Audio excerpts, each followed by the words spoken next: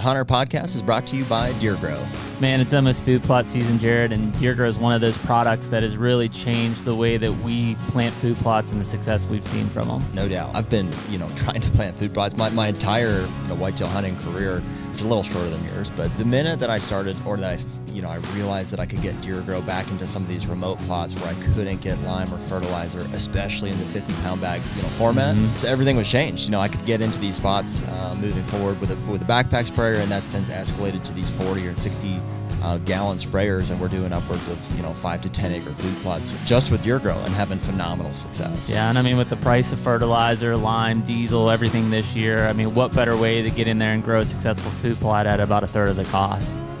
Check out DeerGro at deergro.com. And we're back. Hey. On our podcast, episode 129. Nick's still in Vegas. Don't know if he's coming back at this point. uh, hopefully, he didn't lose his airfare. His airfare. Laid it, laid it all out on the table. No. Put it on black. He'd be calling us. Yeah, probably. he's got his, he's got his woman there to keep him honest. Yeah, too. that's true. That's true. Uh, it is May the 18th. Still middle of May. Still in this funk of middle of May. Yep. Um, you know, it's uh, about as far away from the end of last season and the beginning of next season for for deer hunting as we get. We're on the dark side of the moon. Yeah, so we're, we're about to turn the corner. Uh, summer's ahead, velvet's ahead, fun stuff ahead. Everything's ahead of us. That's it. That's how we gotta look at it. Glass half full off season project. I mean, we're uh, we, we talked a lot this morning or on the last podcast, I guess, about um, our our our corn and uh, mm-hmm. and bean plots that have been going in here, and uh, it's still a little too early for cameras too. I've got mineral mm-hmm. out, but I I'm, I'm, i try to hold. I I threw those two out just because I can't figure out how to cancel the subscription on those other two. But that will happen. Um, I, I suppose probably before any of that really starts, we're gonna get into. I believe we have some new bows coming. We do. We do. We um I mean we've had a partnership with Hoyt um basically sin- since the inception of HUNTR, I would assume, give or take. Yeah. Uh and so we're going to continue that relationship um and yeah, we're currently both shooting RX5s right now. Um but we're going to we'll change up. I'm not sure if we'll end up in the RX7s or where where we'll be here in the in the next few weeks, but yeah, we've got some new bows coming, which means back to the the drawing boards a bit, which is kind of fun. Like the reset up of a new bow, getting everything back together, getting your bearings on everything, building arrows. Um, to me, that that kind of is June and July for me. Like uh, it's mm-hmm. still hunting is so far away it's, that it's I'm, always too late. No, no, matter when you start doing it, yeah. You're, you're behind it. we are. I mean, uh, you know, in a best case scenario, we'd be going into just shooting and and maybe even shooting year round. You know, it's just you know, bow goes away, doesn't come back out until summer. You know, so I, I like that June. For me, it's June and July. So when I'm trying to get everything ready for the bow, build arrows, and then that way, like August, I'm shooting my setup.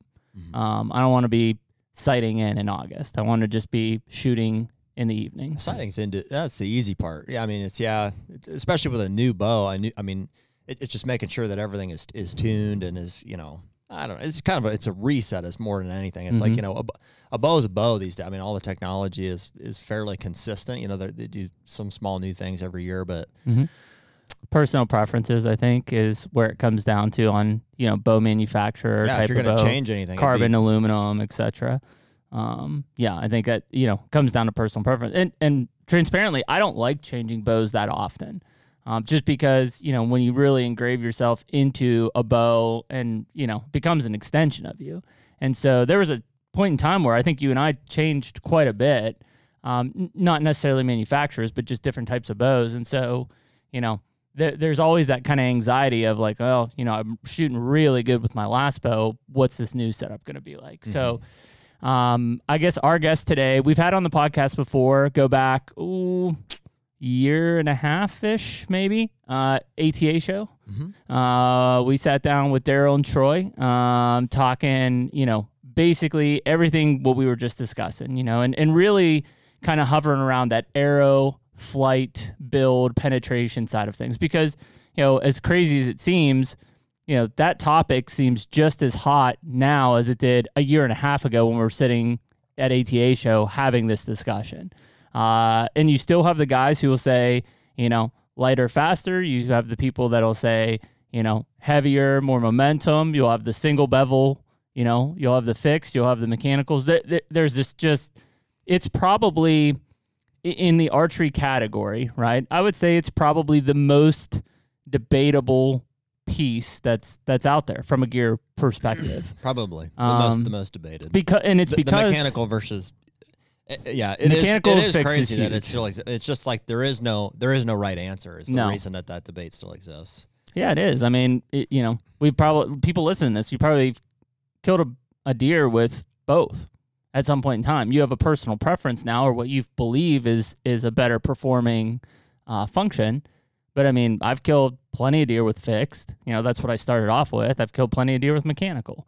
Um, you know, and we'll we'll get into again some of our personal preference here and why. But you know, obviously with Troy and Darrel's background, they're going to bring a lot more than just kind of our experience um, side of things in in terms of what the actual flight of the arrow. Um, you know, looking at the the differences between you know light and heavy arrows, FOC, uh, and then ultimately, you know, what do you got on the tip?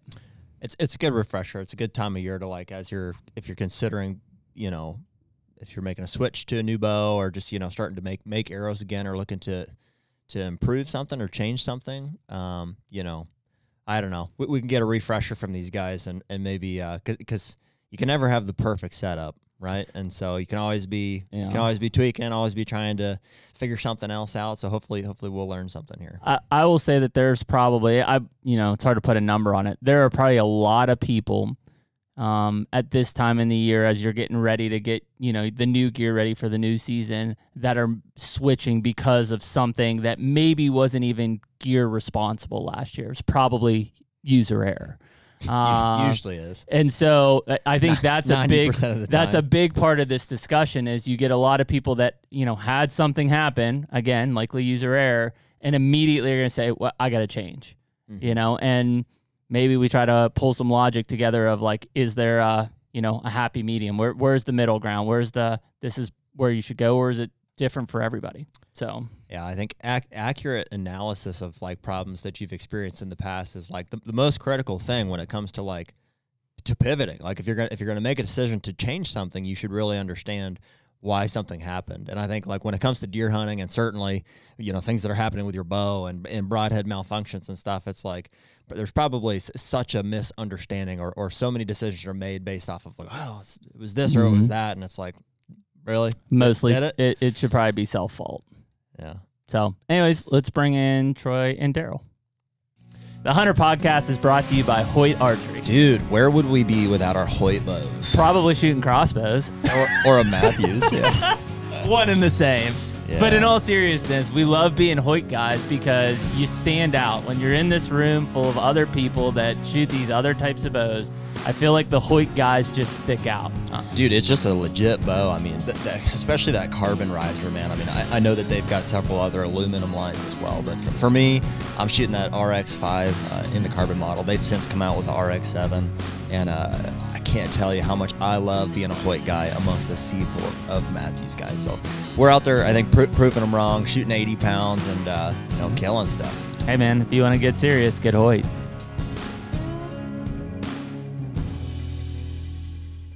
Good to have you guys back on. I mean, last time we were kind of all just sitting around the table at ATA, you know, uh, shooting the shit essentially, and so no beer this time. No beer this time, you know, and and the little virtual aspect of things. But uh, again, appreciate you guys uh, coming back on here to talk about this. I mean, it, you know, it.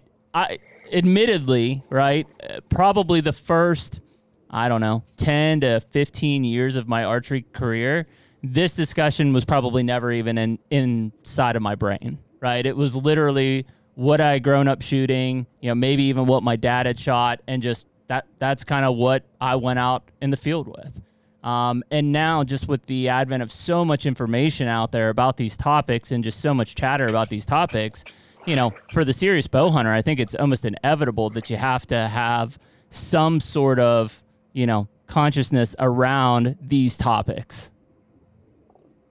It, I found out. I found in the intro is interesting. Y'all are talking about how arrow system seem to be a one of the top topics being chattered about now. I don't, I don't, you know, get on the message boards much or anything. I have, I have white eyes right now because I just spent three days fishing and I'm sunburned.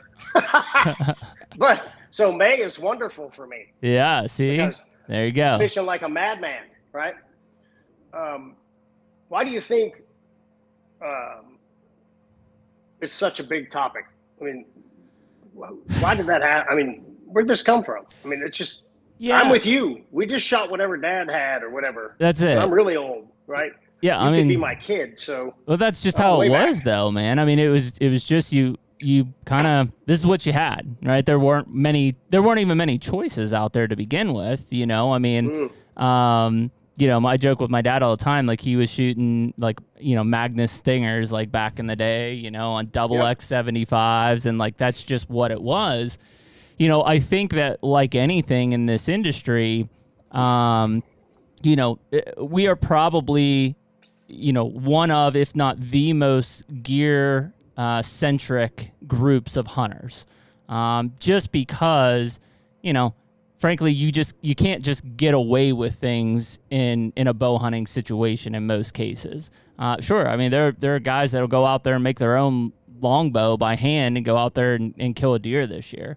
Um, but yep. I think from a standpoint of the gear aspect of things, you know, because we're so passionate about it, I think it almost leans us forward to want to find more or overanalyze yeah, it. I, I think too that there's like um, uh, there, there's so many options and so like little understanding that it it, it opens mm-hmm. us up for uh you know marketing people to take advantage uh, maybe not take advantage but like yeah play you on you it. can say whatever you want and people are like yep like I, you know I, I could see that I could see yeah. why you yeah. know and, and it's it's I think it's funny that like when, when you talk about broadheads, you know, and arrows may be a different category, but like, you know, you essentially have like uh, mechanicals and fixed heads, like as if it's like uh, you know a Democratic or, or Republican. It's like it's not there's not just two of them. It's like there's literally hundreds, if not thousands, of different broadhead designs that like could be critiqued and have advantages and disadvantages. And uh, yeah, I, I just don't think people people know. They got on the bandwagon with a marketing or or somebody told them about it at some point. And there's a few that have like risen to the top. You know, Troy, I know you've got a few uh, that, that you really prefer, and, and Jeremy and I do as well, just based off of really experience more than anything. But mm-hmm. you know, yep. of the hundreds or thousands of designs, you know, we've probably tried five or ten of them, right? Yep. Tops. Oh, easily, yeah, and that's. I mean, y- you can't, right? I mean, because there's so much that goes into a setup in a performance aspect of things, you know, to to kind of just continue to change, continue to change. It's it's tough to build a, a you know essentially rhythm and consistency when you're you're essentially trying to improve your skill. Again, we talked about the human and, or user error earlier, trying to improve your ability to make a lethal shot on an animal. So you don't want, you know, in a hunting situation to continue to be changing things. You want to find what works and what you feel works and, and kind of commit to it. Yeah. Darrel, what do you think? Darrel just got a bow, which I've told him is the worst thing on earth. I wanted him stupid. Don't yeah. get a bow. Oh man! Because then you become one of I'm those idiots, I mean, and you're not fresh. Yeah. This is so. What's your perspective on this? Because you're, I mean, you're an insider now, but you're an outsider yeah. still. Yeah. So this is a very appropriate conversation for uh, for me to have with you guys and others uh, because I just got a bow and I just got it set up and I'm shooting in the backyard and and uh, you know issues are, are starting to reveal themselves. the arrows aren't flying as straight as I would like. This and, sucks, Darrel. I've told uh, you. I wanted you stupid forever. A little different in the real world, huh, Darrel? well, I'll tell you. He's so, like, in theory. So in theory. yeah, right. I put my Poindexter hat or take it off here for just a minute. And two things I've learned really, uh, and number one is a good bow shop is your friend. Yes. And no uh, and I, I say that because uh, I mean even to to look at a bow and, and realize that it's a complicated piece of machinery and for it to be in tune or out of tune, I really wouldn't know. You know, I wouldn't know if it was set up right. So to take it in, to have somebody look it over, to install a peep on it, a peep sight, if that's your preference, or a kisser button, or whatever. Uh, these are things that uh, I wouldn't know how to do, but uh, someone else does, and I want to get that experience from them rather than you know spend several months trying to figure it out on my own.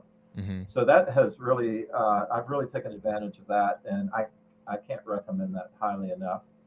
Uh, if you have a good shop, uh, to take advantage of it. And then the second thing is something that I have uh, said before I ever started shooting my own bow, is that it's very difficult to tell what the arrow is doing as you're trying to watch it from from the bow to the target Yeah. Mm-hmm. because it's almost like you let the you let the arrow go and next thing you know it's in the target and you've seen nothing about how it's how it comes off the bow how it flies through the air or how it uh, how it uh, behaves when it impacts is it straight impact does it does it come in sideways and then straighten up or does it does it vibrate when it hits the target quite a bit those are things that you don't really think about because basically you walk down there and you pick your arrows out of the target and you come back and you shoot again Mm-hmm. uh, because you really can't see them.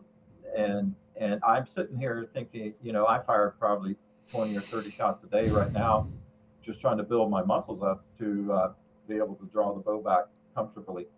And uh, the whole time, my mind is focused on just trying to pull the shot off. I'm not thinking about how the arrow is flying or what's going on. Uh, and so it, it occurs to me that uh, if you had a camera and you're able to put the camera behind yourself and watch the arrow at about 120 frames per second or something like that, there there's a ton of information that we're overlooking that we would we would never consider until we see that video afterwards to take a look at it. And we found that true in testing, and I'm starting to see that even in my own shooting in the backyard. Mm-hmm. That I really don't know what's going on Yeah. from my from my own launching the arrow. I don't I I can't uh, uh, have intuition about what's going on because I don't know if the arrow's hitting the cable strings or or the rest is not falling correctly.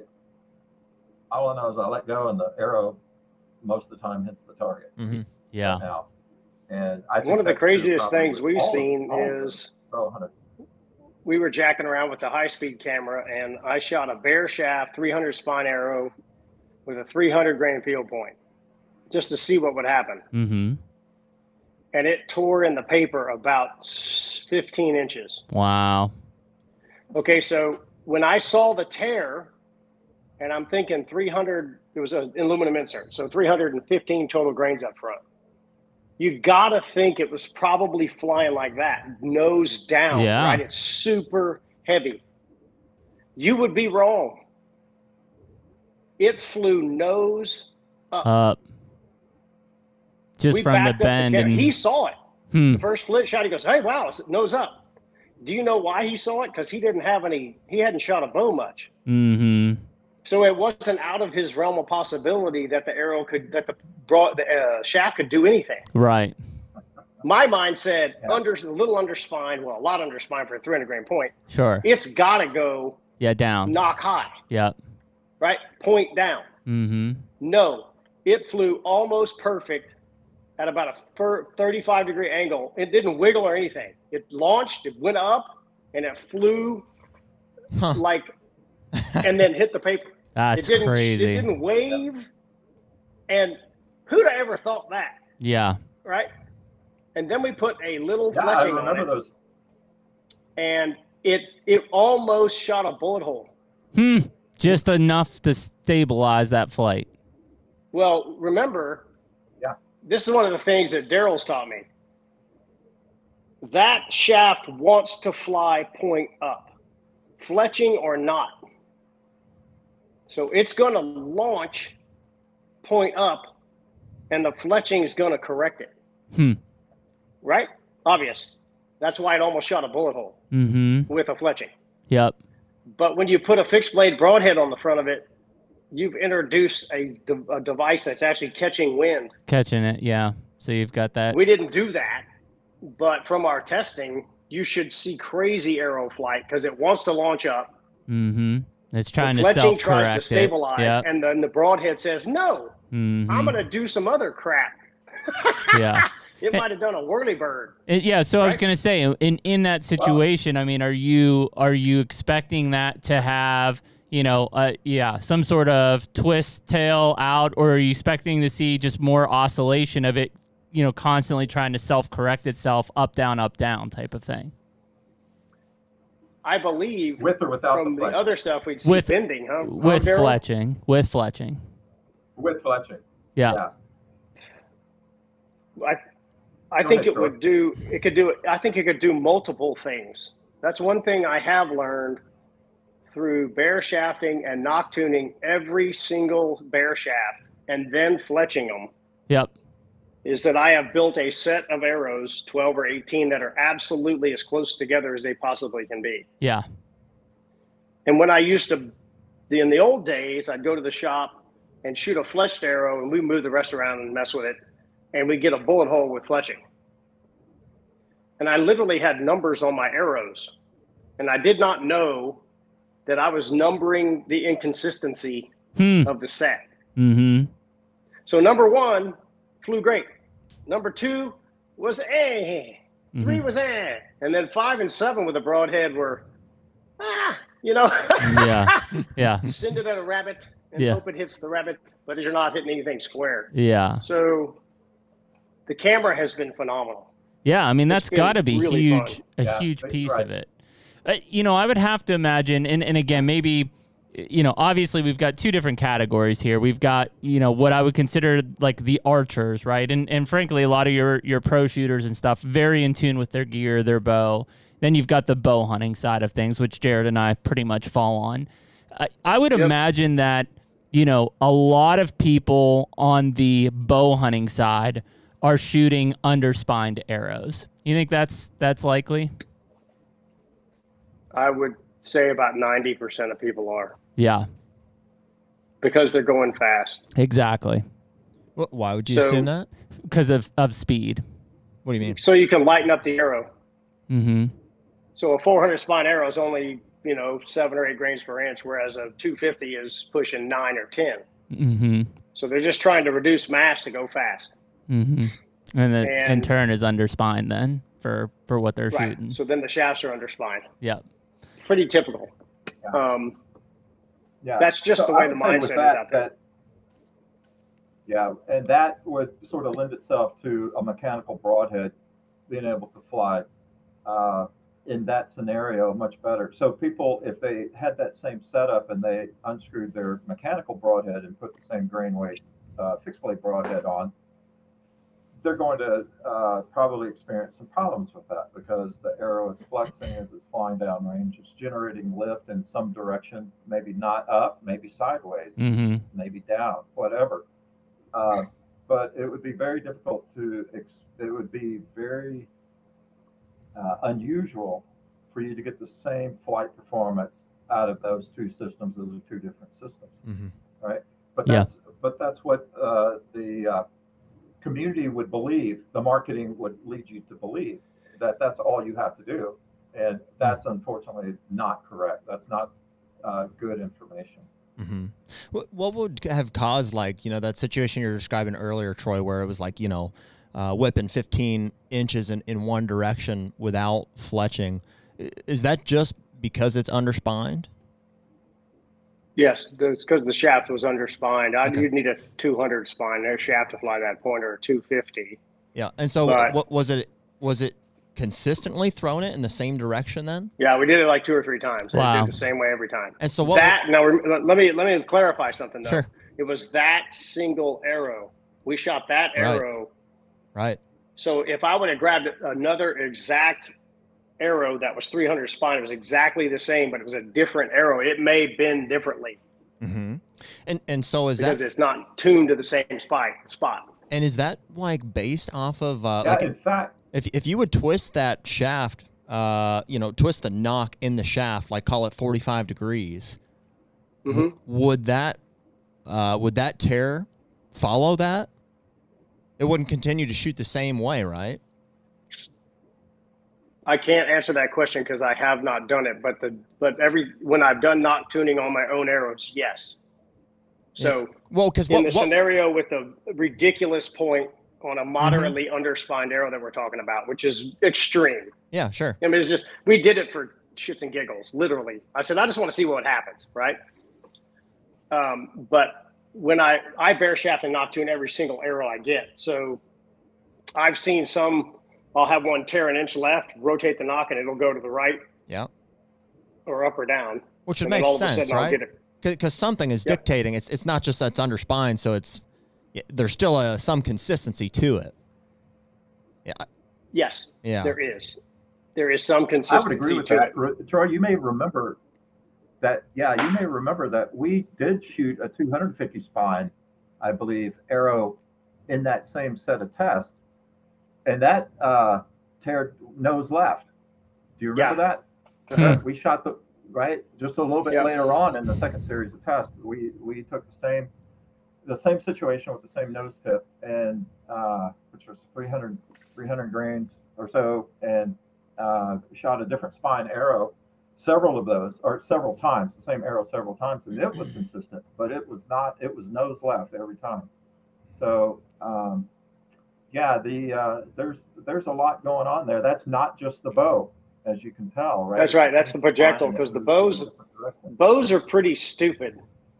Mm-hmm. They do one thing. Just one thing. they return to static state. Yep. Mhm.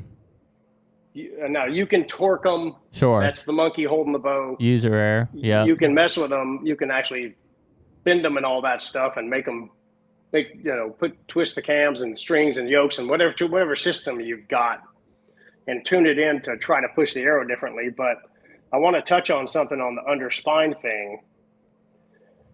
Um, I don't. Do we have video or is this just audio? No, it's video. Okay, so some somebody's going to see us. We Yeah. see you. Yeah. You look. Unfortunately. You look great. Trust me. Yeah, right. I, I'm not worried about that.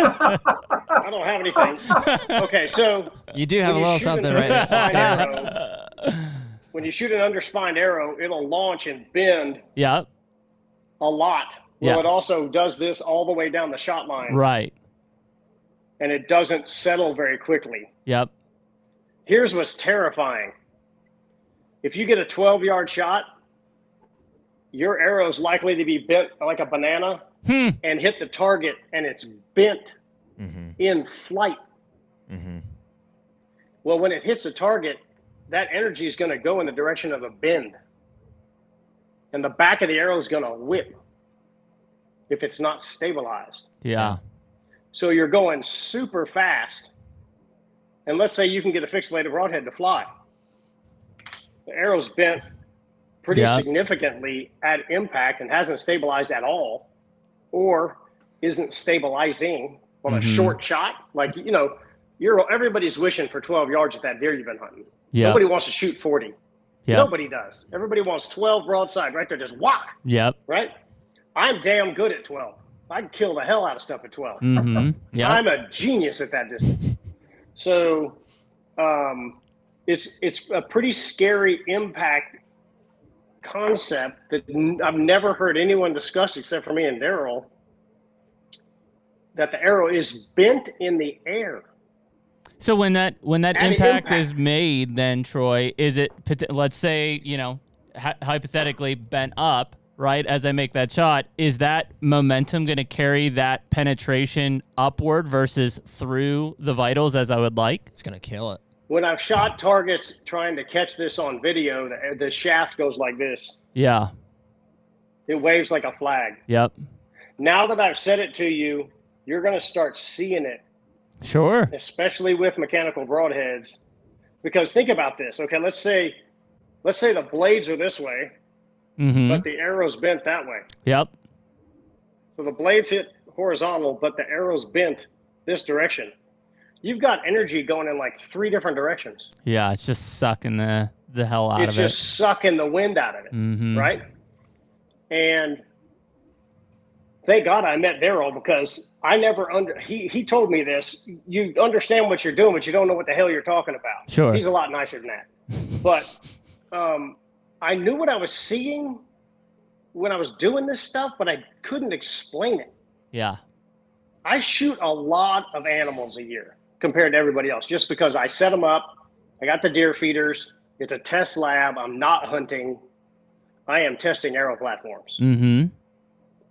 I promise you, a 1,035 grain arrow, and I've done it twice, goes right through them like they're not there. It is amazing how efficient that system is. But seeing them, uh, I knew why I, I knew I wasn't getting the penetration I should get at 16 yards, and I just couldn't explain it. To y'all's point in the intro, y'all said there's a lot of we're trying to understand Yeah. things Mm-hmm. between launch and impact. Yes. And as Darrel said, I'm sure he's got millions of ideas going through his head now that he's actually pulling the trigger. Mm-hmm. It's different Yeah. when you're behind the bow, and it looks good. Well, yeah, that's what I was gonna say. I mean, most of us as bow hunters listening, especially deer hunters, we're shooting 30 and in, right? Well, any a, a Yeah. modern day bow at 30 yards, that stuff comes off the bow and is in the target pretty damn fast.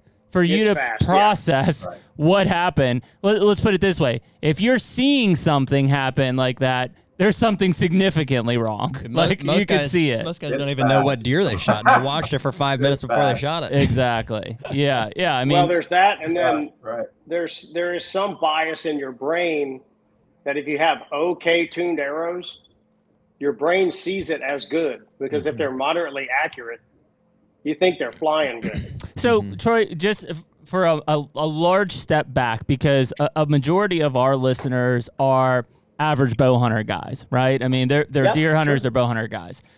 Walk us through briefly a if if somebody says, "All right, I want to start fresh. I want a fresh start." Your your bare shaft nock tuning. wh- What do they need to do? What what is in what is all involved for them in that approach to get started down the right path?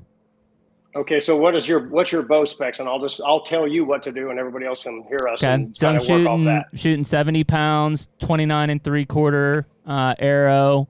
Um, what are we at? Like 485 probably. Mhm. 485 in terms of total grains on that arrow. And what about Ar- Arnold Schwarzenegger over there? What's our strapping young weightlifter? Dude, What's I, shooting? I'm Like off by a, 94 hu- pounds? I'm off by hundred grains. I'm pretty sure. I need to go back and reweigh my. They're either 485 or 585. I don't think they're 585, Then they're 485. Yeah. maybe almost 500 grains. and he's shooting 80 pounds. 80 pounds.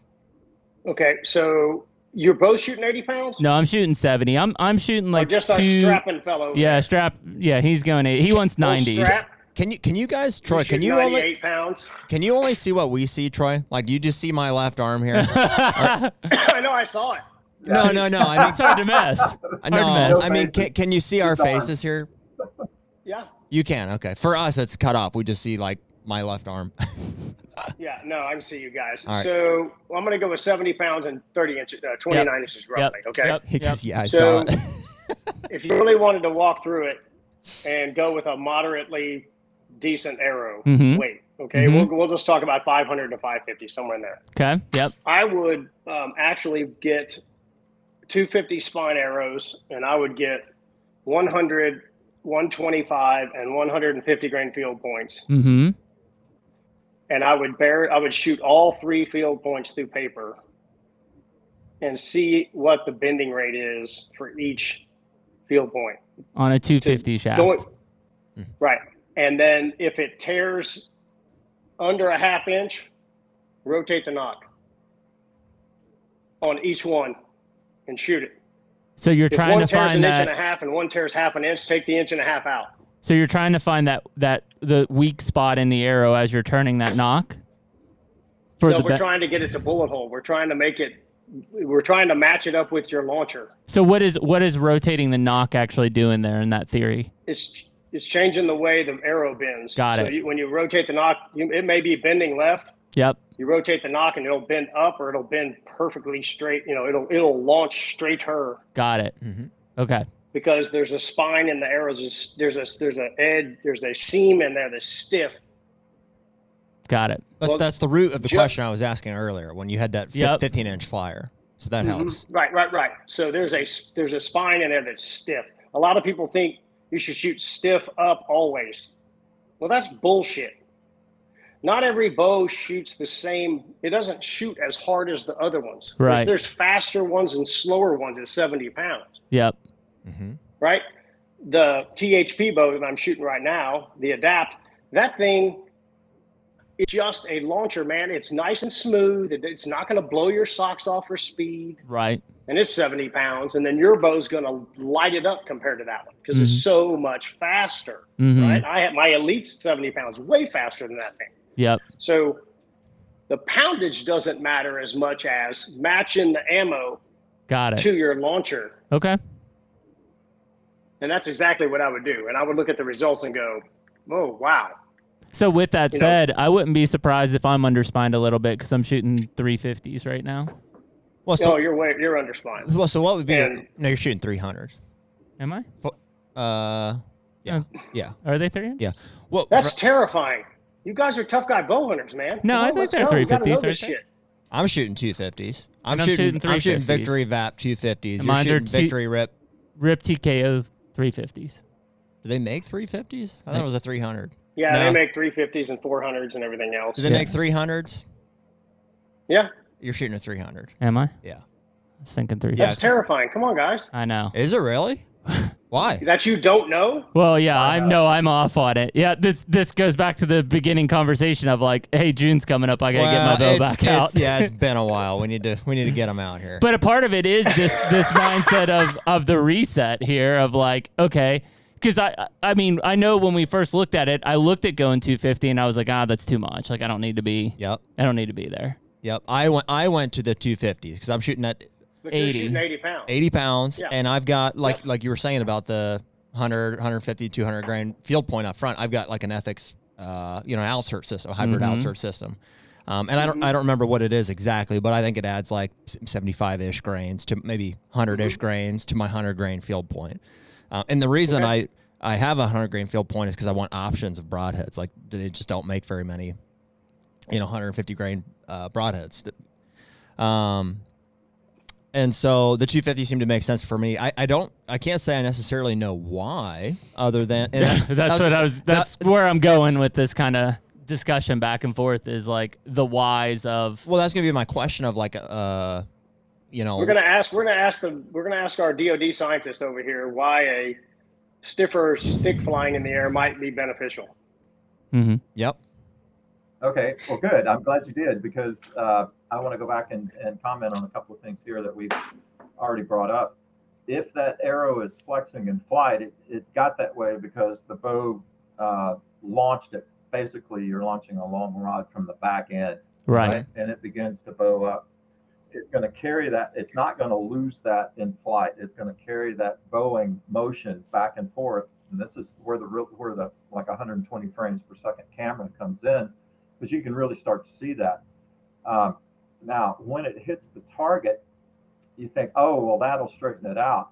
But what the target really does is it it dumps energy back into the arrow to increase that amplitude to at least as much as it got when it hit the when it came off of the bow. Mm. So it amplifies that the uh, amount of flex that you have just because it it's hit the target. It, you you stopped it really quick, and it it has Right. to go up to absorb that energy that it gets when it's trying to stop. What that means is that the nose of that of that broadhead is going to come off. I mean, the nose of the arrow is going to be bent from the direction that the arrow is flying. Mm-hmm. And of course, once it once it goes into a target, it's going to arrows always fly. It's just flying through meat. If that if that arrow blade, if the if the mechanical is opened up or the fixed blade broadhead is pointed down, arrow is trying to go straight, it's going to go in the direction that that that broadhead is flying it. And so if the if the arrow broadhead itself is not straight when it hits the target, it's going to it's going to go in the direction that the that the arrowhead steers it. And and so that does it in flight and it does it when it's flying through meat as well. How how often So, do you think that happens, Darrel? In in like the in in an average bow hunter situation, we just talked about, you know, including myself, a lot of us are probably shooting under spined arrows, so we're going to have that, you know, oscillation in the arrow probably pretty significant. I'm sure there's a lot of people here that are saying to themselves, well, you know, I've had those deer where I thought I, you know, crushed it. I thought it was, you know, 12 ring and well, it just I don't know what it's just going to result in a lack of penetration, right? If- well, I mean, Darrel's saying it it's Yes, going to kind of also Or drive it down.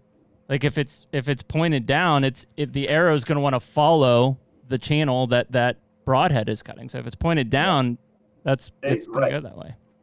It could come out. It could. It could.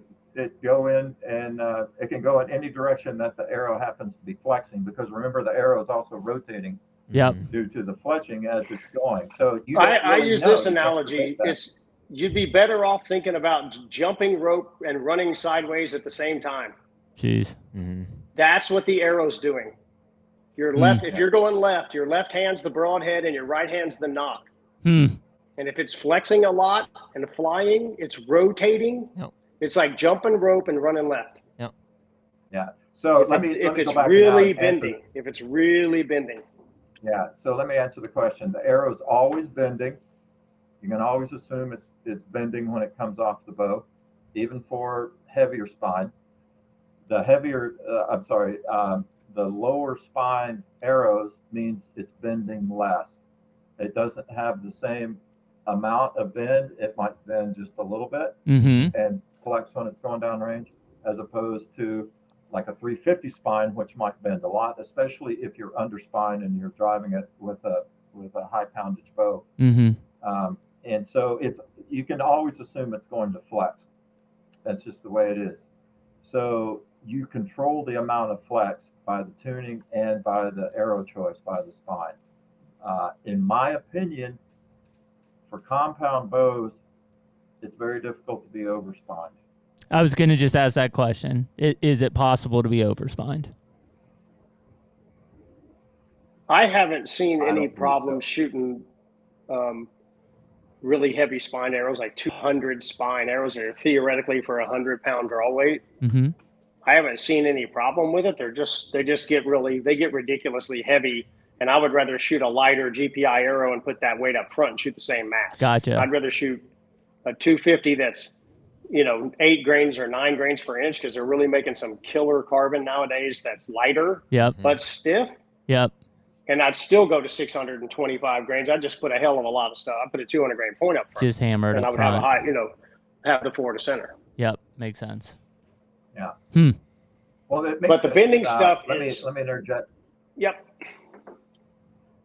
So it makes sense to do what Troy's talking about. Let's say I was just saying, it- you can't be over spine, but you got to remember that you can't make a choice without considering all the other aspects of uh, the implications of that choice. So if you do choose a 200 spine arrow, you're putting weight all along the length of the arrow, a higher grains per inch. If you choose a 250 spine, uh, it's going to be a lighter grains per inch.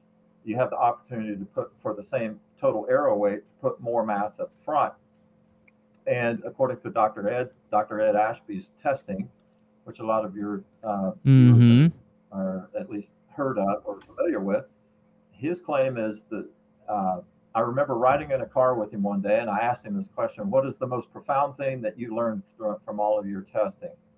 And he said that the effect of FOC, higher FOC on penetration, was something I just couldn't I couldn't believe. Hmm. And and in his paper, especially his 2008 study, uh, he talks about the FOC. Why does the FOC make a difference? Uh, and he and his point was that once the uh, uh, FOC means higher center uh, forward, more forward center of gravity of your arrow, and that means your arrow is stiffer up front and the amplitude of the bending is less, and so you have less uh, sidewall interaction with the bone Mm-hmm. shaft and the bone and it allows deeper penetration.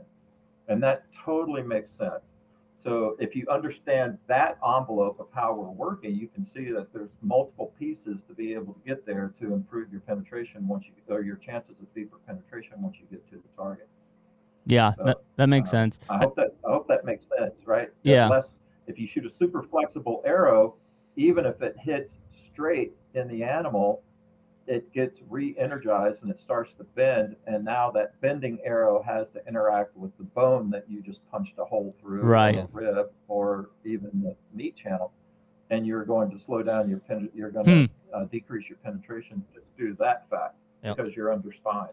Yeah. So underspined is a, is a big problem, right? Because it's, it's leading to all kinds of issues like, you know, too much bending in the air, uh, loss of penetration on impact, and also potential diversion of the arrow even inside the animal. But Right, and all three of those are negative Yes. effects that could either compound or one of them could Yep. be the big Right. outlier. We don't know which one, right? But you've added three components to the mess. Yep. But and so it makes sense to go heavier spined, you know, but but eventually you hit a point where the weight, you know, is exceeding to a point where it's taking away from you Which know, would be the, case with Full Metal Jackets. Easton Full Metal Jackets were kind of the ones where it was like you had this. What were those like? Well, 13, you, could- you 13 probably get a lot GPI or something. than that too. But, but Yeah. yeah. yeah, in the sense that like a Yeah, lot- they're a lot of guys were at their maximum overall weight, and it was just distributed over the course of the whole arrow. And it's Right. like, well, it would make sense, like the arrow setups that we've evolved to. You know, I've got a, a micro diameter carbon arrow that's Mhm. lesser grain grains per inch than that full metal jacket, but I've overall it's the same way. Same way. it's just all stacked front. up front. It's the dart effect? yeah, right. That's a great move. Yeah, I mean that's the first the first time that Yeah. somebody ever told me about FOC. We were in a bar and they had darts, and they're like, "Well, go pick up a dart," and and all the weights in the front, right on the Or a on the Nerf. Nerf football is what I think of. Yeah, there you go, like the old room, yeah, Mhm. football. Yeah, so football. yeah, so I mean those those concepts kind of bring it to light, but I think the question, and I don't is I don't even know if there is a right answer. Is there a sweet spot percentage wise for FOC? Over over nineteen percent and then above. Really? It's the only one. It's the only factor. This is why Ed said what he said. Remember that study's thirty years, thirty years long. It's not one guy dicking around for two months Yeah. and then getting on YouTube and acting like me. I was right? gonna say that's called ranch. 30 Ah. years, right? And um, it's the one factor he said that's the only factor that for every percentage a gain in forward of center, he saw additional penetration. Wow. It's the only one. That's why he said the because he he built arrows that were 650 grains and they were super heavy, like a big heavy wood birch arrow that Yep. weighs nine million pounds and 125 Yep. grain point. And then he had carbon and he flipped it in a 650 grain arrow with 22% forward to center. Yep. And then he was shooting the great big buffaloes, right? Yeah. And I, I'd like to say something about that because we get the Ashby Foundation and Ed's study gets a lot of crap, and people say, "Well, we aren't shooting buffaloes." Mm-hmm. Mhm. Great. Do you know why he shot the buffaloes? What's the advantage of shooting something gigantic? If it kills that thing, it'll kill a deer. No, that's a great answer, and I'm not trying to be an asshat. no, that's fine. Um, no, you can't measure penetration on a pass through. Hmm. Mhm. It tells you absolutely nothing. Hmm. You need to catch the arrow. Mhm. So you see all these. I'll use an example that's modern day. You see all these, and they're about to come out. I just put up an Instagram reel about ballistic gel, Yeah. possibly the worst testing medium on the damn earth for arrows. No, it is the worst. really? Oh, it's a horrible test medium. Yes. Why? It's probably the worst thing on earth. I mean, because we've seen into. how many people, you know, I've seen them put uh, a deer scapula in it. I've seen it with plywood or whatever, you Is know. it, is Yeah. it is it inconsistency? Is why? No, it's super consistent. Okay. which is not its consistent with what a Oh, real I animal see. A deer, a deer is two inches of stuff, air and liquid for 14 inches, 12, and then another two Yeah. inches of stuff. Oh. Well, There's I- no correlation to, to penetration on animals. yeah, None. but but it's still is going to give you a very accurate result. Not just it's not necessarily translating to if it's going to kill a deer or not. But it That's is what they're consistent. saying, I see. I see. that's what they're saying, right?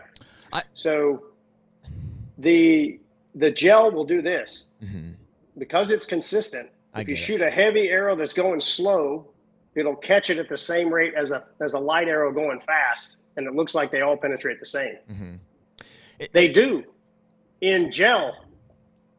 Yeah, I get it. Hmm. I- Is, there like In a gel. Yeah, uh, that's the big fallacy. Uh, so it's it's kind of it's a marketing ploy, right? Because I mean, I- I've seen this time and time again. Look at the penetration of this arrow. Look at this and that. it, it's Well, consistent? look at it. Next time you watch one of those videos, look at it differently. Is ask yourself, how in the hell can they penetrate all within about an inch of themselves? Yeah, When you look at those pictures, yeah, like the thumbnails are always 50 arrows in the gel block. And by the way, every arrow you shoot into the gel block and leave it, you've changed the gel. Exactly. Yeah, it's not consistent anymore. No, it's tighter. Yeah. So the next arrow is going to hit something even tighter, and the next arrow is even tighter. And if you mm. pull them, you loosen it up. Well, you just So the- ruined a lot the- of people's dreams and what they were reading I know and I'm saying. a dream smasher. That makes sense. no, I'm not trying to be. I just Yeah. I'm not an 80% guy, and I don't do bullshit. and gel is bullshit. It's just a big bunch of BS. It's just not a good medium. It's a terrible. And listen, if they would say in ballistic gel, the results are X, yep. Mhm. that is not what they say. They say that one penetrated three quarters of an inch further. That'll be your best hunting point. Mm-hmm. Yep. Three quarters of an inch? Yep. No. I want it to go through them. I want sparks on the other side because it hit a rock so damn hard, it never slowed down. Yeah. And it's just very challenging on that front to do that stuff. has But there- back to Ed, the the animal was a replication of what you're shooting, which is a pretty solid armor, as Barnette Sure. likes to say, because the combination of skin, meat, and rib cage is actually armor. Yeah.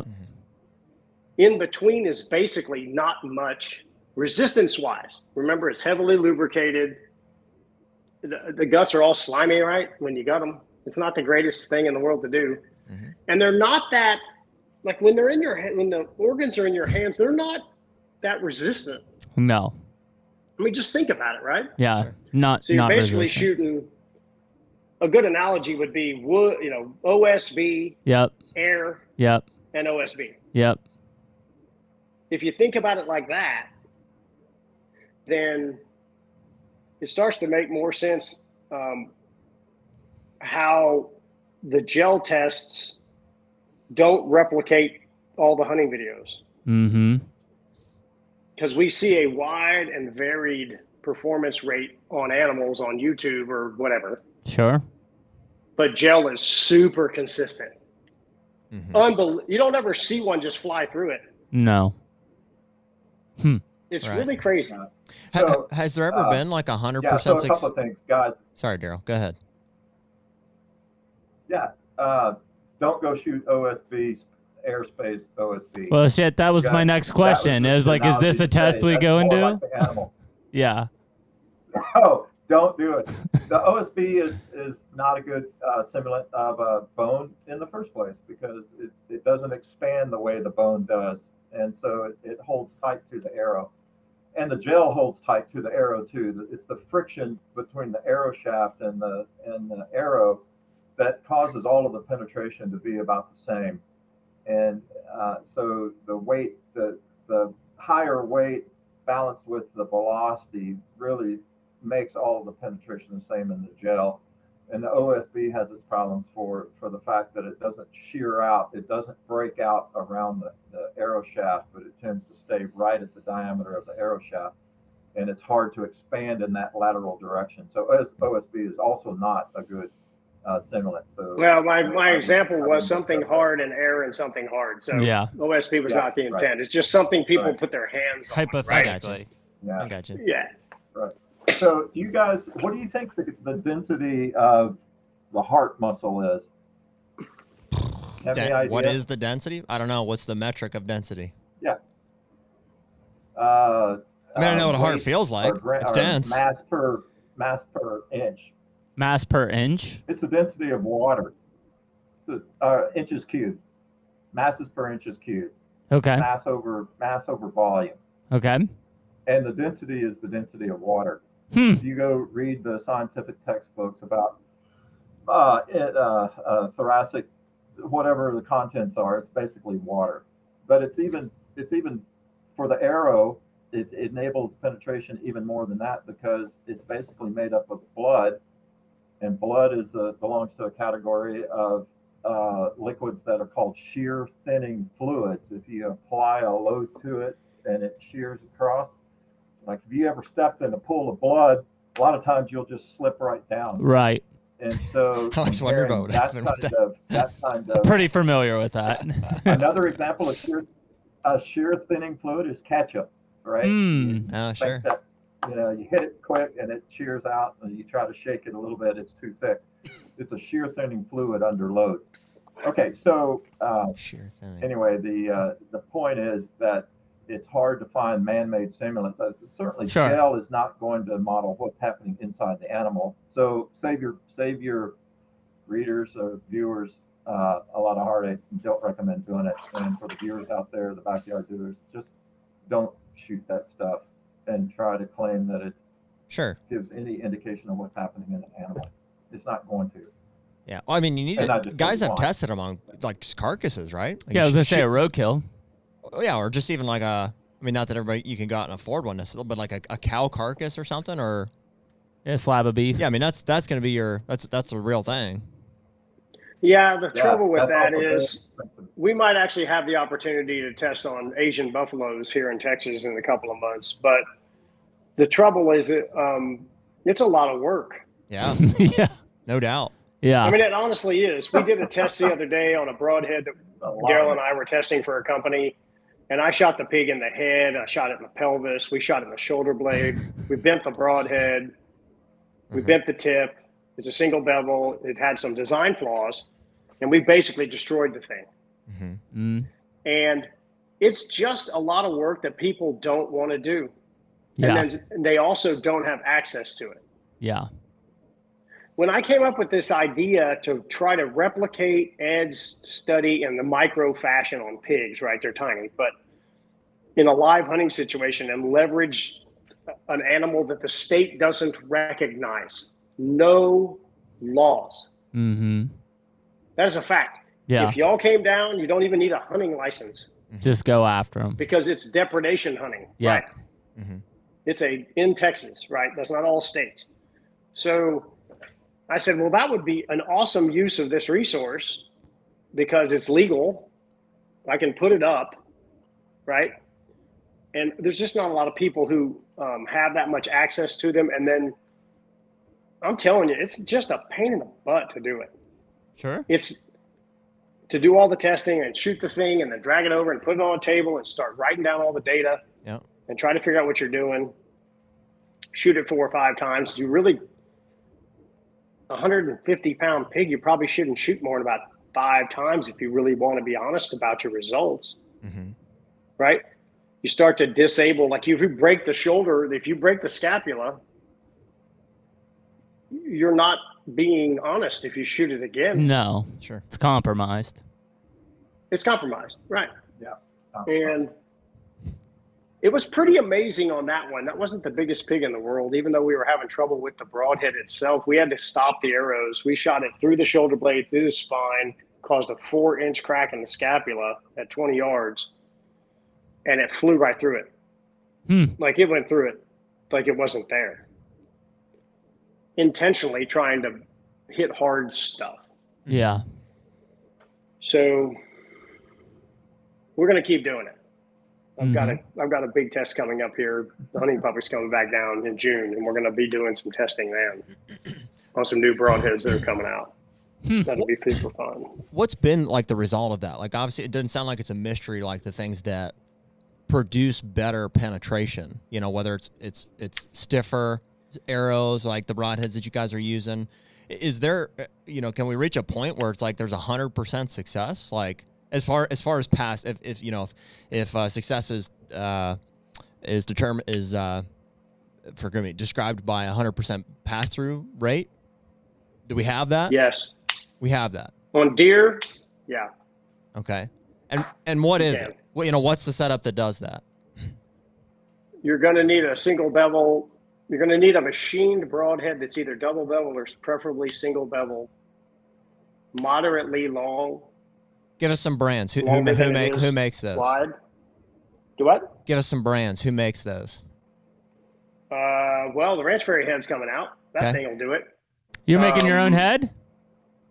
Yeah, I've got my own broadhead, my own 200 grain broadhead. It's coming out. It'll be out in about 10 days. All right. 29th of 29th of May. There's one. But there's a lot of brands out there that are machined one piece,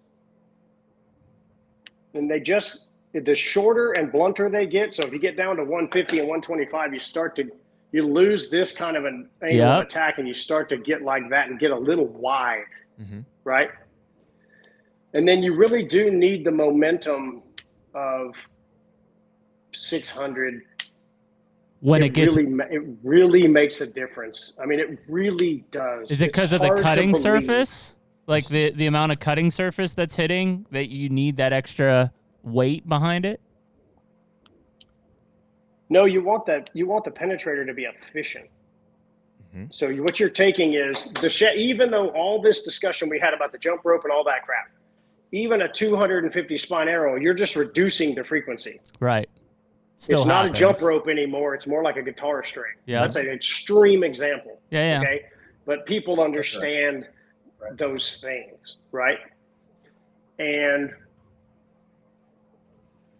the reduced resistance you get from a longer, non flexing, no screws, razor sharp steel thing.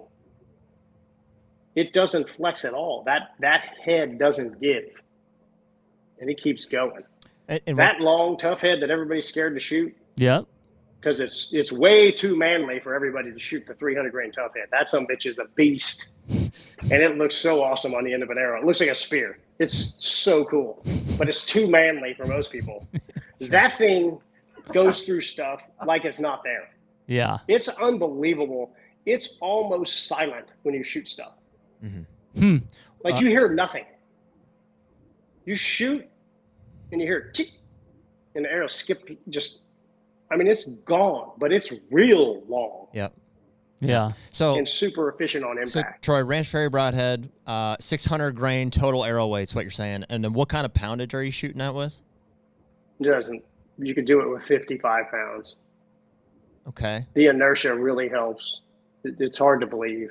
I mean, it really is. We had a lady kill a Cape Buffalo with 55 pounds, 850 grain arrows, and she buried it to the fletching last year Uh huh.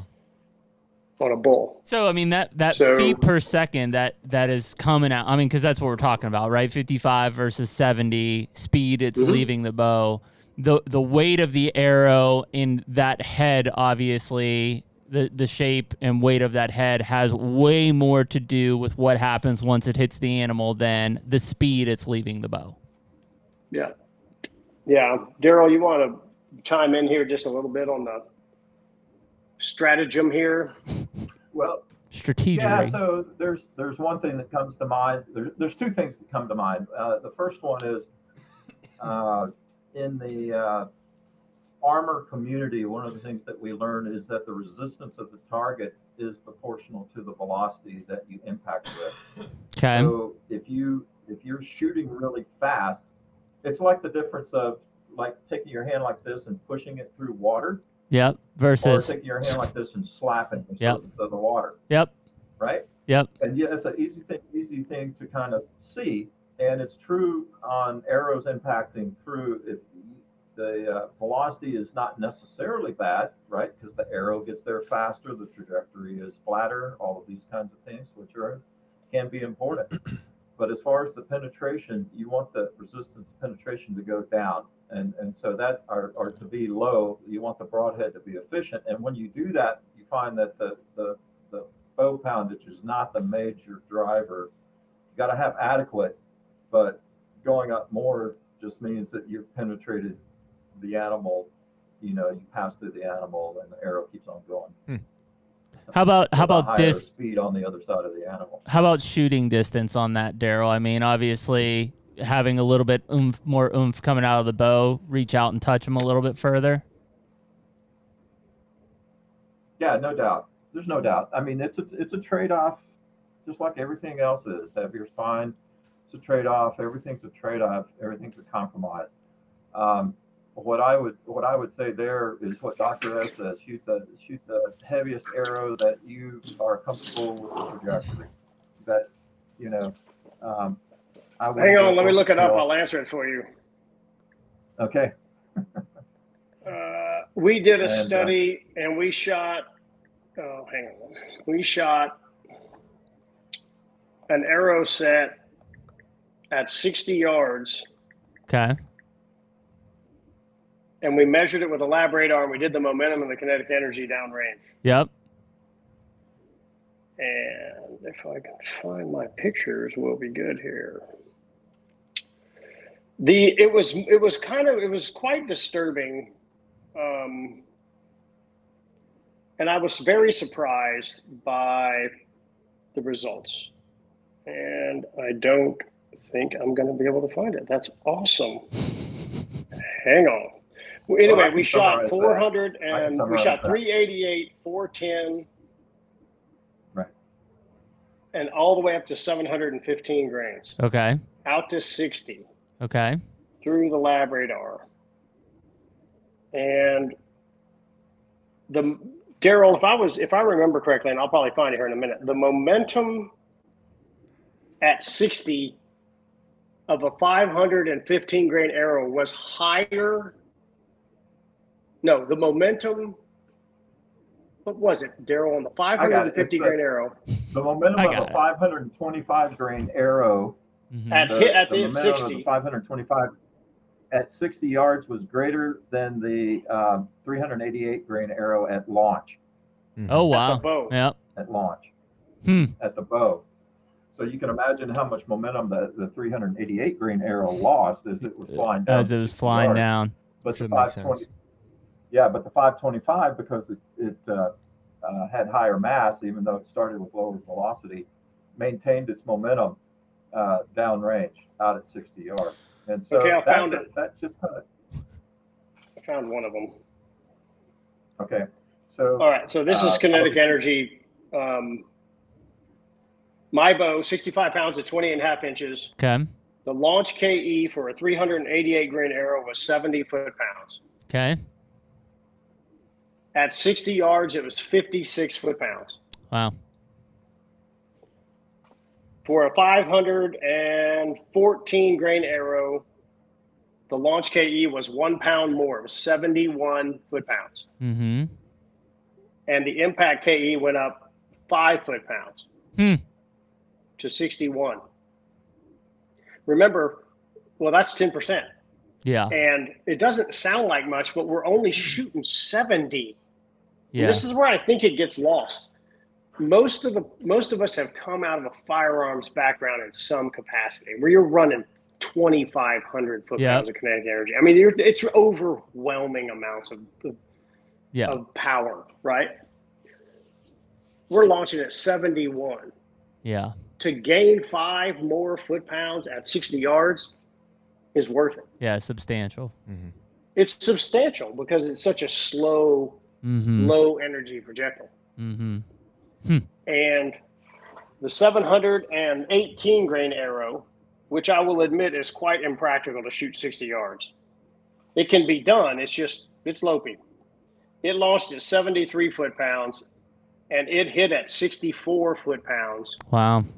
at 60 yards. Remember the 388 grain arrow, the, the arrow most people would choose to shoot far, launched at 70 and hit at 56. And the 718 grain arrow had 64 foot pounds at 60 yards. And I would So- I would assume those heavier arrows, Troy, were heavier up front, FOC built heavier, not just like balanced. They were all. Yeah. That was the, that's the easiest way to get there. stack it up. So it, fair. It's totally fair, right? Well, but, I and I say that because you know I think we anybody who's shot like I mean, I don't know. Let's see. Uh, so probably in the early 2000s, right? It was you know go to the Dick's Sporting Goods bin and pull whatever carbon arrows Yeah, you know sure. that they had, right?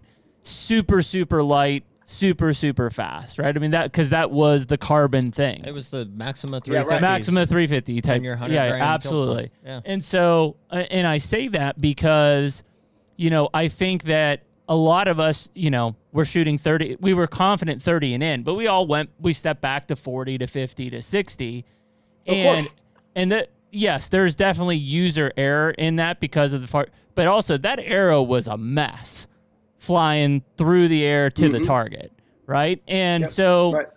you know, it, it, I think because of how many different things were going on with that faster, lighter arrow coming out of that bow, sure, there's user error in it, but it's also that arrow wasn't going to perform well at that that kind of a distance because of how much shit was going wrong you, with you it. You do still see it too. Like there's TV guys that you'll see like their arrow, they're shooting out there 40, 50 yards, and it just Yeah, well, it's in the Oh, it's it's in the, wobbling like and- and- crazy. and it, yeah, like, they haven't smacks them changed anything and sideways. yeah, it's in the stuff. target wrong. You go, they walk up to the target, and it's like, wait a minute, it looks like chopsticks crossing over everything. You're like, what the hell's Right. going on here? You know, and immediately people say, Right. oh, you know, maybe my my rest is off, right? Maybe you know I need to adjust my rest, or it's not dropping cleanly, or it's to the left, or whatever. Mhm. It's not necessarily the case.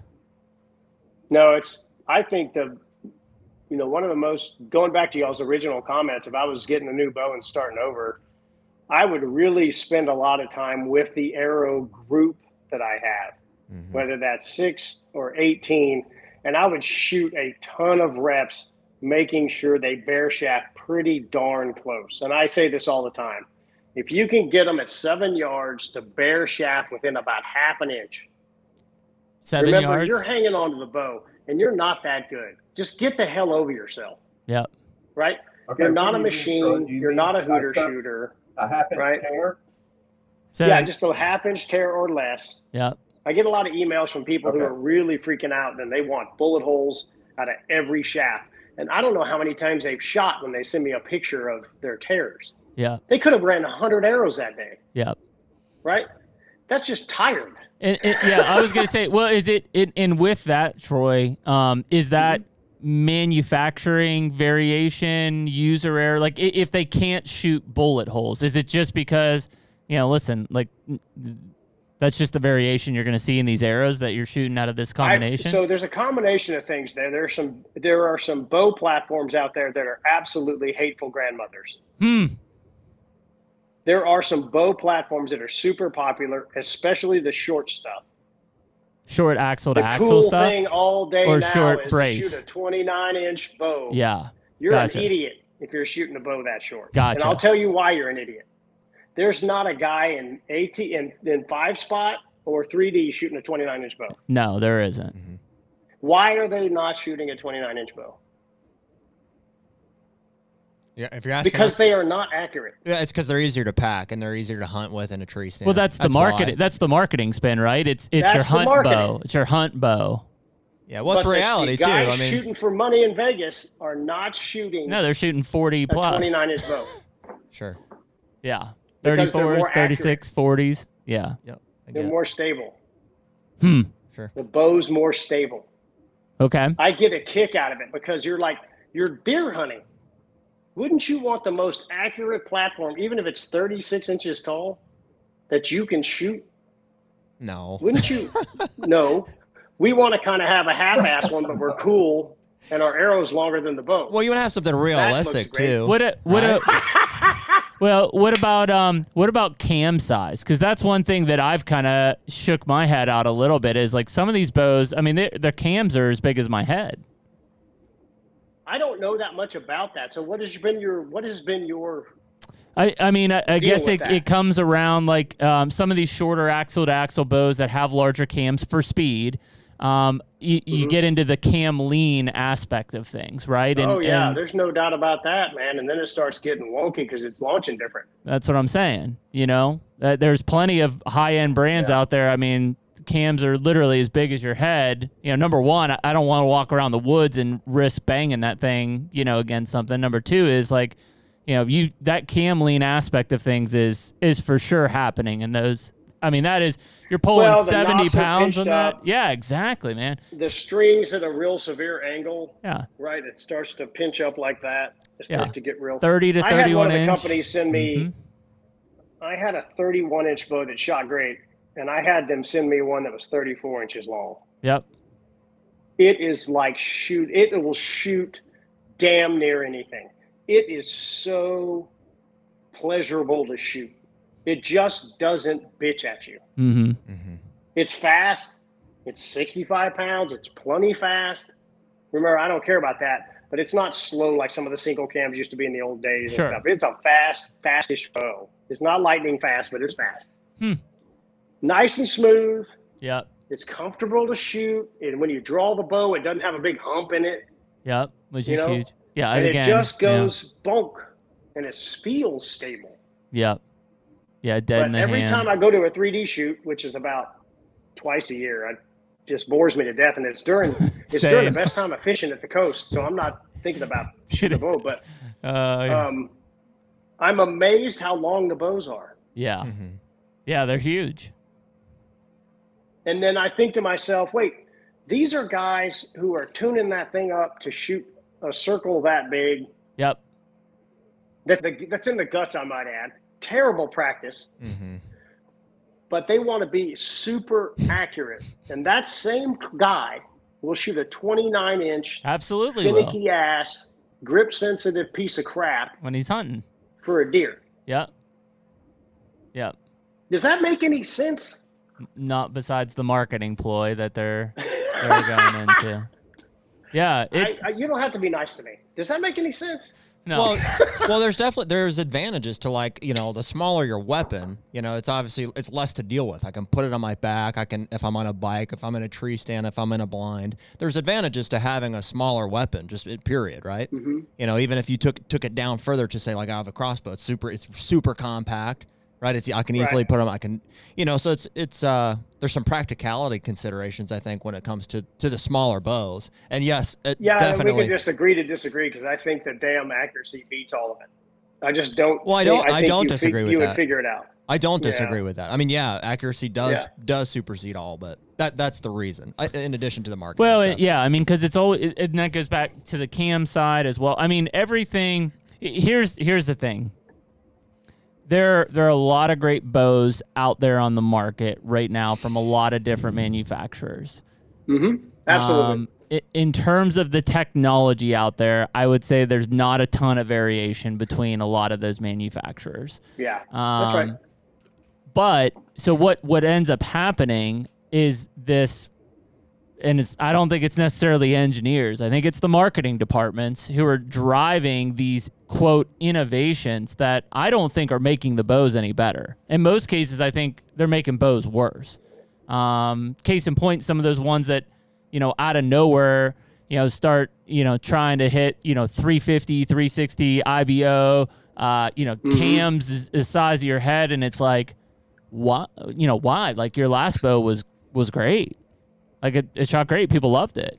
You know what? Why come out with this whole new platform design? Like out, like it comes out of nowhere. You know. Um, I, I think that the I don't know this for a fact. Darrel, does this make any sense from an engineering perspective? If you had a, a short bow that was real pinched up, right? So when you draw it because it's short, yeah. you know it's going to be Tight. the string angle is going to be like that. Say. Would big wheels roll the string further back from the limb and increase that angle? Does that make any sense? Maybe they do it for that. I know they're making Yeah, it they fast, would. but Yeah, that that would that would help actually. That would help. help with the So- pinch. okay. I'm not sure it'd help a whole lot. Right, but Yeah. I'm just thinking if the wheel's real big, right? Yeah. then when it rolls over, the string's going to start, the limbs here, the Yep. string's going to start out here and, and it's going to Yeah. take that angle out Yep. some.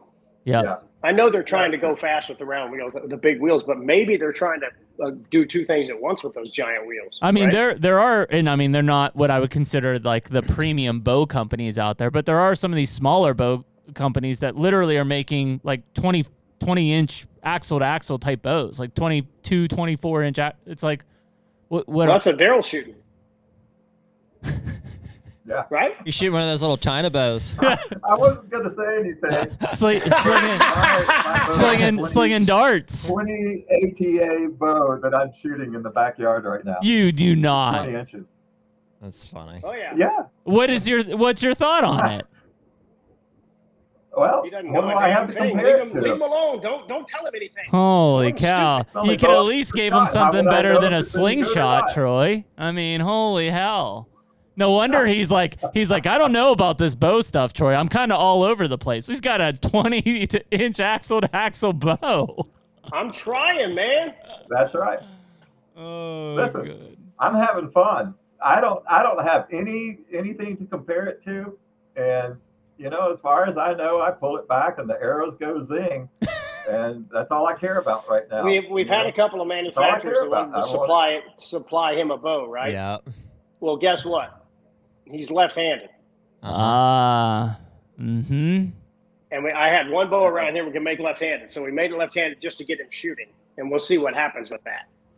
But Well, Darrel, I mean, Um, this is this is kind of an interesting take for me because love i- i- hearing your, um, it, you know, this time and and last time at ATA, I mean, your knowledge on on arrow flight and and the mechanics of all this, uh, you know, book wise is off the charts, right? Now you're stepping into the live action experiment yourself. I- I mean, I guess how That's much of how much of kind of what you theorized now when you're shooting, you're like, oh shit, that's not not as easy as I thought that was gonna be.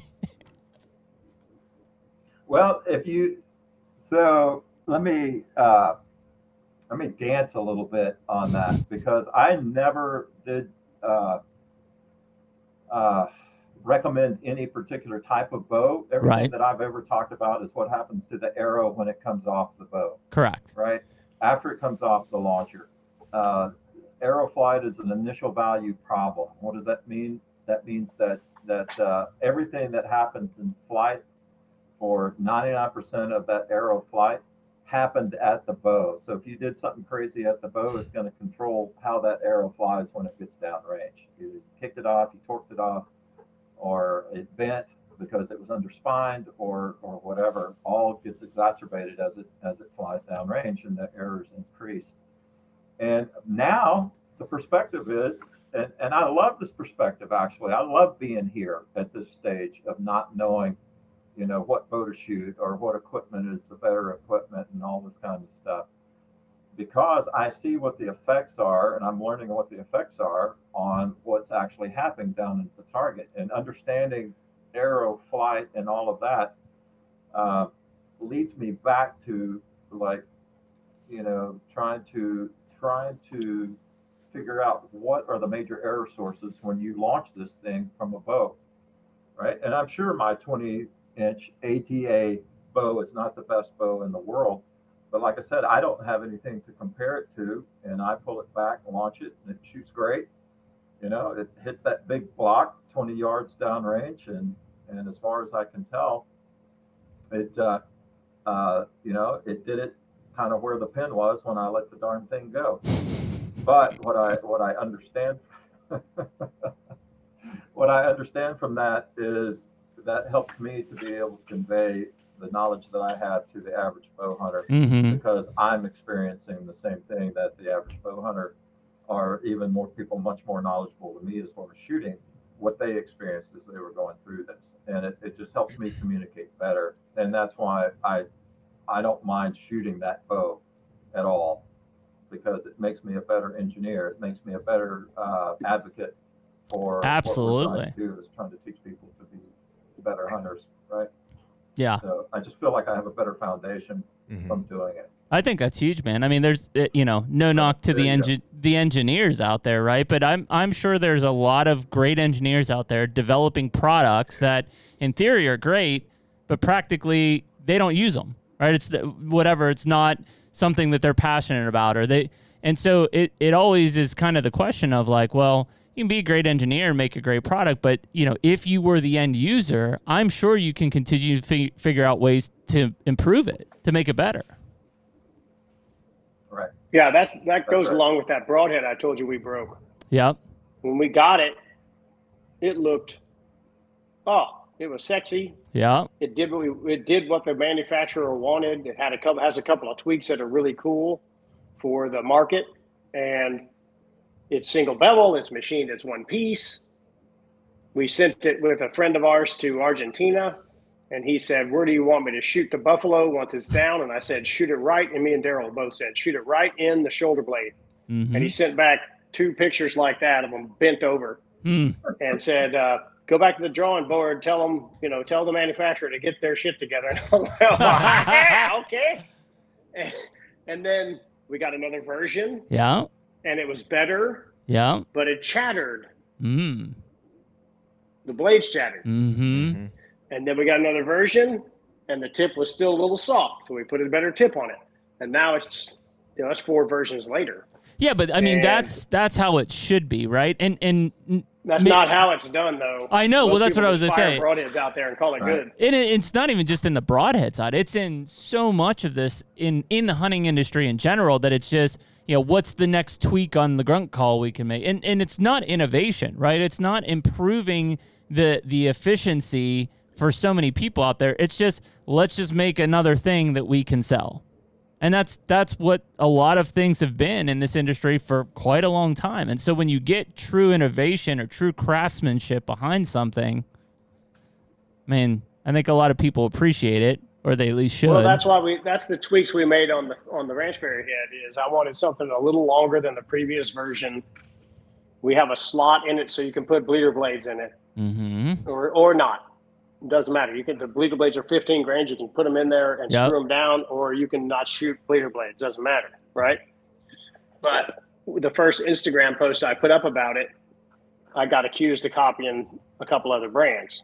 Well, guess what? It's a machined one-piece single bevel broadhead. Tires are round, screwdrivers look about the same, and then ball caps you're wearing aren't that cool. So you boys need to get the hell over that. Right? it's kind of microphones, those you know, mm-hmm. Mm-hmm.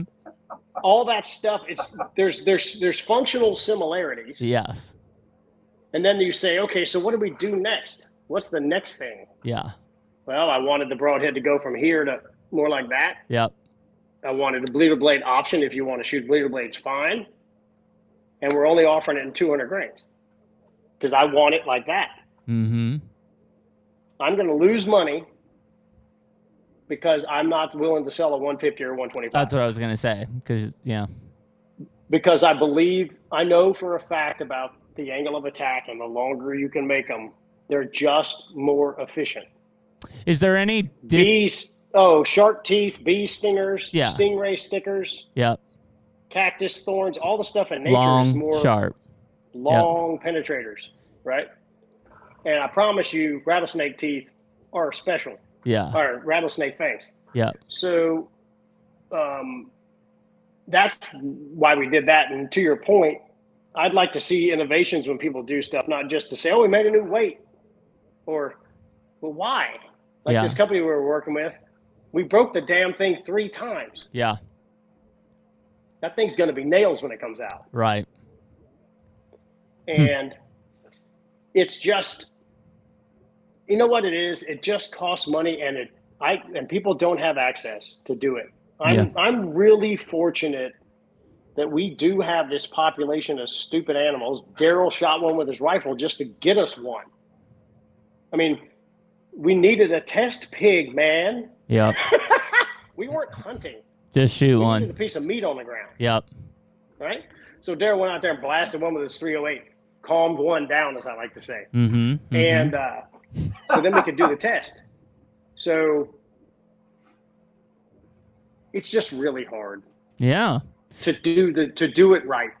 When when you talk about uh, your your broadhead being 200 grains, is there an advantage to just having you know the full weight up front in a solid one piece broadhead versus you know like Jared and I are, are using outsert systems and things like that to add weight? Any advantages? I really appreciate this question because I'm getting ready to go on a little bit of a rampage on this. Okay, hit us. Um, just not y'all, but in general. Um, I've shot 300 grain broadheads with 15 grains aluminum inserts a lot. Mm-hmm. and I've had no problems bouncing off the ground. I hit a feeder leg and it bounced straight back after it Hmm. went through a pig, a, a piece of two inch angle, Mm-hmm. and the broadhead bounced, the arrow bounced straight back, didn't bend. I think that the insert thing is a, is a straw man. Interesting. I really am starting to believe is a straw man because when you, I have a lot of people write me, I get a thousand messages a month in May, June, July, August, and September from people tuning arrows and broadhead questions and all this stuff. It's just nonstop. It's really great.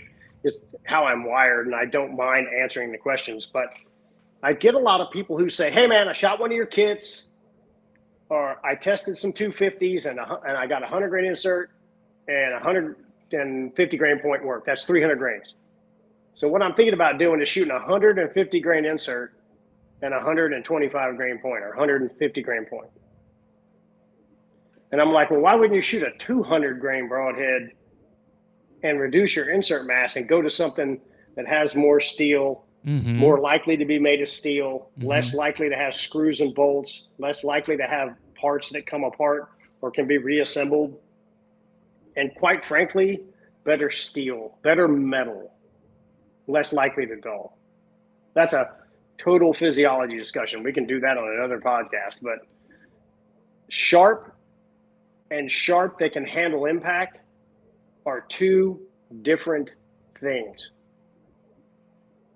If it flies through the first three inches of penetration and dulls 50%, your success rate's going down 50%. I've had people tell me, I had a guy who has a broadhead company. He thinks he's a damn genius about every topic on the earth. And he, he told me, as long as it gets in there, it'll kill him. that sounds like one. And I'm like, absolute. That is an absolute fallacy. You can live a long time with a piece of rebar through your chest. If you ever get a piece of rebar through your chest, by the way, go to the ER with the rebar in you. Yeah, yeah. Don't pull it out. Mm-mm. You're gonna die. You'll bleed out. You'll be better off with it in you. Yeah. And but if it doesn't cut the internal organs, but it's if it's moving through that substrate, moving it around, but it doesn't cut everything, your efficiency is reduced. That's a physiologic fact. There's no way around that. And arteries are semi-muscular. They're much more like a rubber band than they are a piece of uh, wet fettuccine. Okay and they'll ride right over. I've I've actually tried to do needle sticks back when I was practicing. On it, right here, there's an artery that you stick for a blood gas that comes right out of your heart, and so you can actually get pure gas read. It's red blood, not the blue stuff, right? And I've had to go. I go like this, and you see the artery sitting there, and it just goes, nah, psych. Yeah. It rolls. It's in between two tendons right here, and it still rolls out of the way of a needle. And you've got somebody sitting still and stuff. Well, Yeah. moderately still. Some people jump around a little bit, but right. If your broadhead's kind of dull. So back to what I was pointing out is a little longer blades, super sharp, and then steel quality that goes up that can handle that first initial touch to not be compromised. Broadheads do two things. They stay sharp or they get they dull. They don't get sharper at impact. Mm-hmm. So that's why I would say reduce your insert mass, Yep. raise your broadhead mass, Yep. And find something that's got thicker blades and et cetera, et cetera. That makes sense. For killing stuff. Yep, yep. Hmm. I didn't quite put Even them, if it's 150 or whatever. I didn't Yeah. quite put them together completely. Where so you know, if we're talking about the the outsert system, I get sharper. I get that. Heavier, What- stronger. What is the disadvantage to using? You know, if they're the same sharpness and the same length, you know, on the broadhead, what's the disadvantage of using a, a lesser weight broadhead with an outsert system as opposed to just Because traditionally, the broadheads to reduce mass, they thin the blades, they use aluminum. They have to use lighter materials. There's, Okay. there's there more tend to be in pieces, like modular, Mhm. right? Mhm. And they tend to shorten up. I said this earlier. I'm not going to offer in my broadhead is you're going to have 200 grains with a good angle of attack. Mhm. I could sell a lot more broadheads at 125 and 150, Sure. but they get short. The blades get shorter. Yep. the cutting surface reduces and they get more like this. And they're just not effective penetrator. Again, thorns and fangs and stingray stickers and sharp teeth and all that stuff, right? Mhm. Yeah, I got you.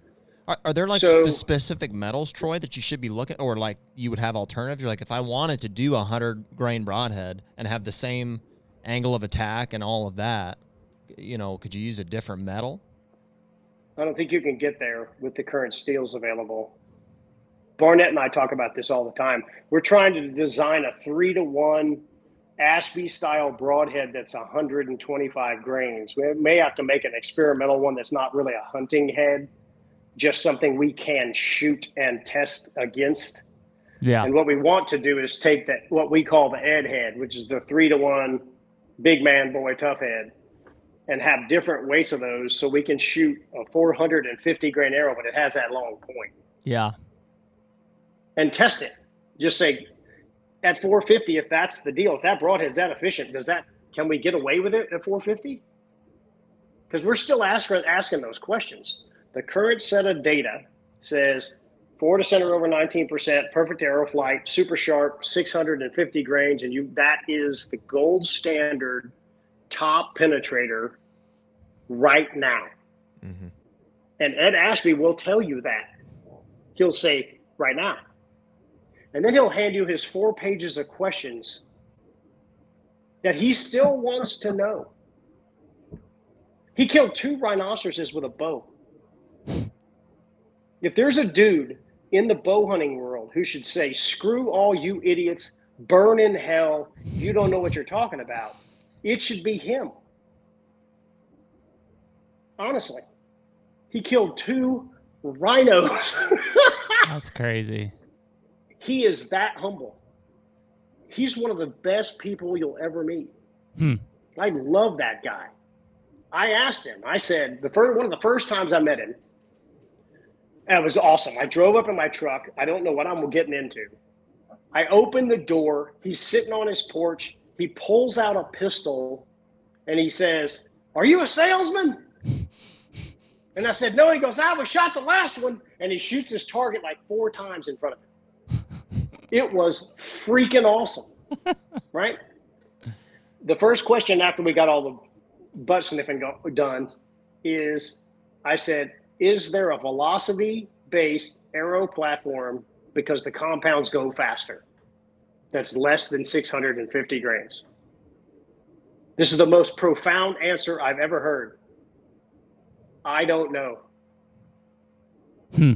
That's what Ed said. Now, how many of the pro bow hunter guys would say, I don't know? Yeah. Zero. Hmm. But that dude who shot two rhinos and a million other things and was a PH and all that stuff, he literally said, I don't know. We need to test it. Yeah. I think that's freaking beautiful. Yeah. really. It, it's it's one of the best answers I've ever heard in my life. Hmm. And it sets the tone for what me and Darrel are doing. Yeah. I'll never forget that day. Because I you'd figure he'd say, Oh, it's all bullshit, doesn't matter. Yeah. I Right. proved it already.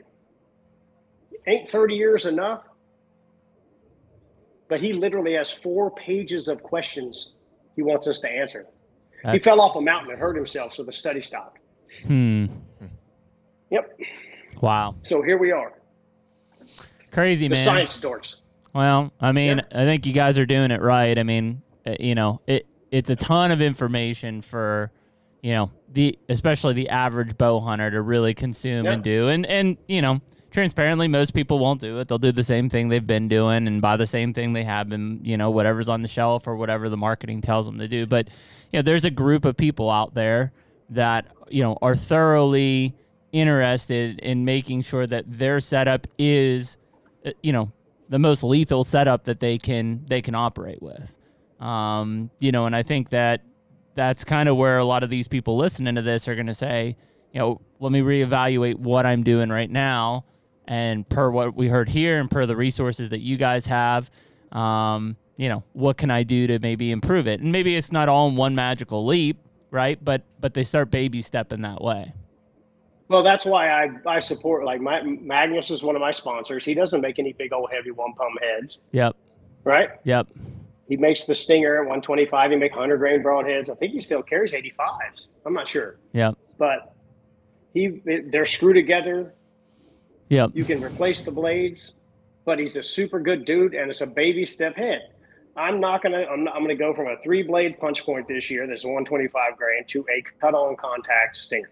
mm-hmm I if if if I can just get people to do that and keep walking up the hill and go play, I've done my job. Nobody's going to go from 400 to 700 grains in a leap. I got it. I didn't do it. I I went from 350s to 300s and thought I was crazy on spine. I dared to put 100 grains in the front. Thought that was crazy. The arrows looked like they were walking down. I could outrun them. And then I started shooting stuff and absolutely, I'm talking blowing through stuff like they weren't there and said something changed. Yeah. Hmm. That's and that's crazy. been the whole. And one other thing I wanted to touch on, we need to obviously let you guys go because it's been a long time, but feral hogs are an interesting target in that in the fact that their their rib spacing is very narrow compared to a deer. They have the big boys have shields on, and the shields aren't that hard to penetrate. They're way overblown as far as arrows are concerned. The rib cage is very close together, so that usually is what sucks up the arrow uh, at impact. But they probably have one of the smallest kill zones of anything on the planet Earth Hmm. that I, I've ever gutted. A 200 pound feral hog's lungs are as big as your hand spread wide open. That's the target area. Damn. You don't have a choice Yeah. but to shoot them in the shoulder. Yeah. There's nothing behind the crease, guts. Wow. And so back to the long bow conversation and trying to be more accurate. As I've actually learned over the last seven years where the damn kill zone is on them things, because it's stupid forward and stupid low. Everybody thinks I'm just talking out my butt. Oh, it's low and forward. Rah, rah, rah. No, it's that's where it's at. That's it's just it is. hmm I've really, really seen how maximizing broadhead quality for cutting because they're muddy and stuff. They eat up broadheads, and the most accurate bow and arrow platform you can get, going back to the longer bows, really contributes to your overall lethality. Yeah. Hmm. It's because the kill zone's so small. I, Yeah. I have people bring me a video back all the time, and I smoked them, and I look at it and I go, "Nah, we'll see that one tomorrow." They're three inches behind the crease. hmm Damn thing's not even gonna die. They just laugh. They're like, they go show their friends, "Hey man, look at that Yeah. idiot!" No go. They're pretty crazy. So That's it's wild, been man. a, it's it, it's really fun. So right now, um, as you guys are continuing to to do stuff, still uh, Ranch Fairy channel is that still the main place for everybody to find stuff? Yeah, find me and Darrel on the Ranch Fairy channel, and then on Instagram under Ranch Fairy, and I think I'm on Facebook still, but. Eh, Yeah. I got up to 5,000 people or whatever, and you had to change your account, and I don't give a hell. I don't give a damn. So I didn't do it. yeah. You'll be fine. And, and where can people get I'm your supposed- broadhead, Troy? On, on your website? But you can just type in Ranch Fairy Store Got on Google. It's a Sirius archery. They're my arrow sponsor, my broadhead sponsor, and all that stuff. Okay. But it'll be out in. We've got the 200 grain three blade, and we've got the 200 grain single bevel coming at, back out. The three blade was out last year, but the, the single bevel will come out May 29th, Coming out. and probably be sold out by September 1st. That we're usually done by then. Uh, coincidentally, if I'm uh, looking at our schedule correct, people are listening to this on May 30th, so it is officially out. Oh, okay, Shazam! It's out. it's out. It's out Sirius. Archery Ranch Fairy. There you go. You can And- just Google Ranch Fairy Store. I have the dumbest name in archery, so it's easy to not forget. the Googler finds me real quick. There you go. So yeah, it's out. It's available. Check it out. Yeah, woo! There you go. Right on. Cool guys. Well, listen, as always, appreciate you coming on and dropping some knowledge on us. Jared and I are just continually trying to sponge this stuff up, and uh, you know, I think a lot of people listening to this are going to be in a similar position in that you know they they come from a background of of purely you know hunting and what they saw on TV or what so and so was using, and you know that's what they've kind of married themselves to, but. You know, I think with the amount of information you guys are putting out there, there's a, a big opportunity for people to to get out there and find more things that are going to work in their favor. The only thing me and Darrel are trying to do is make you more lethal. Which should be the point at the end of the day, anyways. No, I mean, I, and I'll, I'll finish with this. 90% of what you read and hear on YouTube and watch on, on bow tuning and arrows and stuff is flying the thing to the target. They're not studying penetration. This is why Ed gets all the crap on the message boards and all that stuff. He studied one thing what penetrator will go through them stupid buffaloes more consistently at more angles than anything else. That's all he studied. He didn't worry about the velocity and all that stuff. Yeah. He just studied penetration. Hmm. So I get a lot of crap from different people about because their mindset is flying it there. Right. I'll give you a good example in the ballistics thing, and then I'll we'll shut off because this is going to piss off some people who bought a six five Creedmoor. I damn well I'll shoot right next to you with a 300 Win Mag all day long as far as you want to go, brother. I promise you, I can shoot them kind of in the middle with a 300 Win Mag, and if some bitches are going down. you better be real accurate with that six five. Oh yeah. You better hit them just right. Yeah. I hope your boys own the six five. I, I do I do for long range for long range target shooting. I don't I don't Oh hunt. right, yeah. I yeah, don't hunt- Good for shooting jackrabbits and stuff. Yeah, I don't hunt with it. I don't hunt deer with it. I shoot long range with no, I think it's just the elk guys that are shooting them, shooting elk with them. I've You know, heard a lot of it- lot of people, you know, through and through on some of those things, and that's about oh, it. Yeah. Yeah. Give me a 338 Lapua, baby. We'll Yeah. we'll just we'll go rocking and rolling together. It'll be great. That's Uh, the way to 30 do it. caliber. It's crazy, man. Well, we appreciate it, boys, as always. And uh, yeah, everybody listening, check out the uh, Ranch Fairy Head available now. All right. Thanks, guys. Y'all have a good one. Thanks, Right on, boys. guys. Appreciate Thank you it. very much for the opportunity. Yes, sir. Yeah. Appreciate it, Darrel. Chat with you guys. The HUNTR Podcast is brought to you by Stealth Cam. Dude, where would we be without our cell cams? I would definitely be divorced at this point. yeah, I hear that. I mean, the fact is, is I spent more time checking cameras than I actually did hunting prior to cell cameras. Now, at least, my wife can enjoy me being in the comfort of my own home, buried in my phone, checking those pictures. hundred percent. And dude, when it comes to uh, trail cameras and definitely cell cameras, reliability is, I think, the number one thing that we're looking for. Stealth Cam just has a long reputation of reliable cameras, and ultimately, that is the most important thing to us. They have to work. In terms of reliability, there's not a better camera on the market than Stealth Cam, whether you're talking about the Fusion X, the Reactor, or the DS4K Transmit. And most of them are under 200 bucks. Stealthcam.com. Check them out.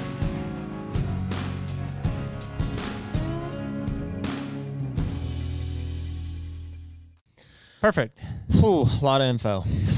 Always good to have Troy and It- Darrel on there. Dude, it's so hard to try to consider like every single every element of like it is such a complicated thing when you Yeah. consider like like from the bow and everything we talked about the bow the length you know the, the pinching of the arrow with your string like the t- torque and the human element to uh, to what's happening with the arrow in the Yeah. in the air to like actually at impact is like there's so many things that could could could go wrong Well, I think the hardest thing is training as as bow hunters, right?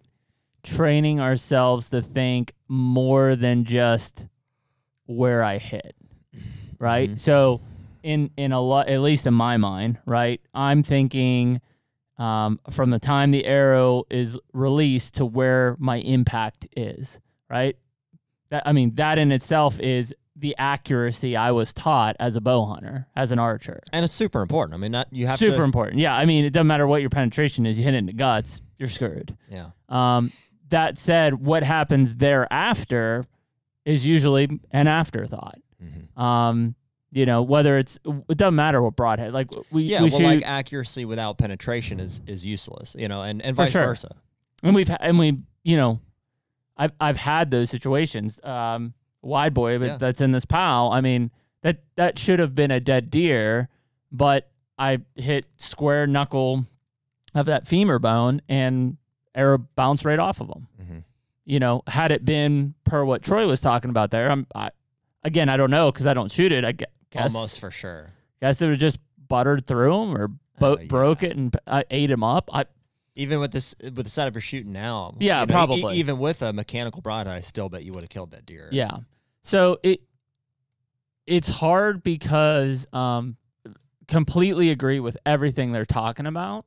Um it's hard for me to retrain my thought process of, of you know, I shoot right behind the shoulder on a deer. Like that's my aiming is the crease. Like that's where I shoot. What would you have to retrain? What do you mean? well, I mean, in in their case it's to shoot through the scapula, shoot through the shoulder.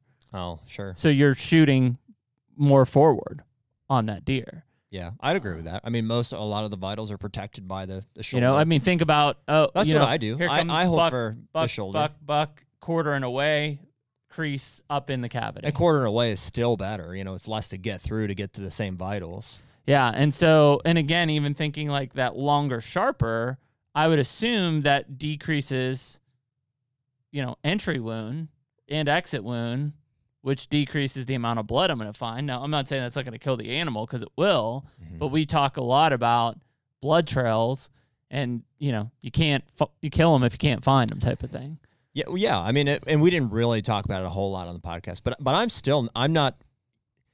It sounds funny coming from me. Like I still think there's a such thing as overkill. Sure. You know, it's like that's and we I, we kind of started on it. Like maybe we'll we'll get on it again at some point. But like I was asking with with the Ashby studies and stuff, it's like is there a setup that gives you hundred percent of success as far as a pass through, like every single time?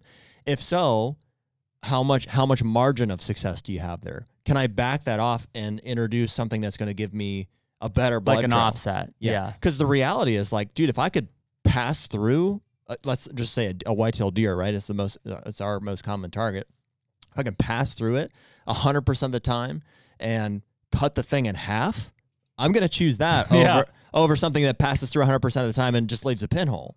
Well, yeah, I mean, Right? for everything we're just talking about, if if there was a Rage Trypan that was 200 grain, I would shoot it.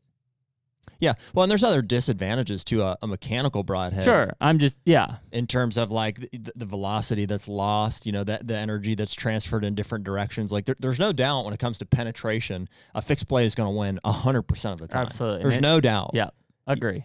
There's no doubt. And, and, and durability for sure, maybe the most important thing. Yeah, reshooting You're, that you're not going to beat a fixed blade broadhead from, from that regard. Yeah. But, you know, there it's that margin of like, you know, if, Yeah. if I can get a pass through 100% of the times, how, how great is that Yeah. margin? Instead of 650, can I go to 550? Yep. And, well, and that's more of a drop. That's Yeah. a, that's a yardage thing. yep, yeah, because I now I've got more yardage. that's where- Where's that- my offset there? You know, in terms of what else do I what do I need to add? Do I need to add more weight, or or uh, you know, do I need to change the way that I'm I'm shooting that arrow? Do I have to change spine? Like where, where's the a factor. It's all a factor for sure. I mean, I think if you can equip yourself with the deadly, deadliest, uh, you know, stuff has to work. Like I, I, one thing I wholeheartedly agree on is like a heavy spine. I think that's, Yeah, which will be the first thing I do with these new bows. And- but I'm sorry, but Okay. but you, you know, with more spine comes more weight, yeah. and you don't. so now I've got to put more weight up front to get. I mean, they're talking they And more weight up front with more weight on your arrow means you need to shoot a heavier poundage to keep keep Yep. your arrow groupings. You know, Yeah, otherwise at 40 I'm here and it's a giant drop down to 60. Yeah, so that's and that's I said at the beginning of the podcast. I don't know that there is a one perfect right answer like hundred percent of the time. It's just It's too situational based. I mean, Yeah. it's no different than we we build an all around setup. But if let's say we were to you know go into this heavier arrow, um, you know, super high FOC for a whitetail, that would have to be a completely different setup than when we go to North Dakota and hunt muleys. Mm-hmm. because if I need to, yeah, because if I need to take a 60 or 70 yard shot out there, there's no way that setup is going to perform like I need it to perform in that setting. yeah. Well, and the thing that's really not you know, uh, and I know you know Troy's and and Daryl's their focus is so, and he said it. It's like it's on penetration and like penetration alone.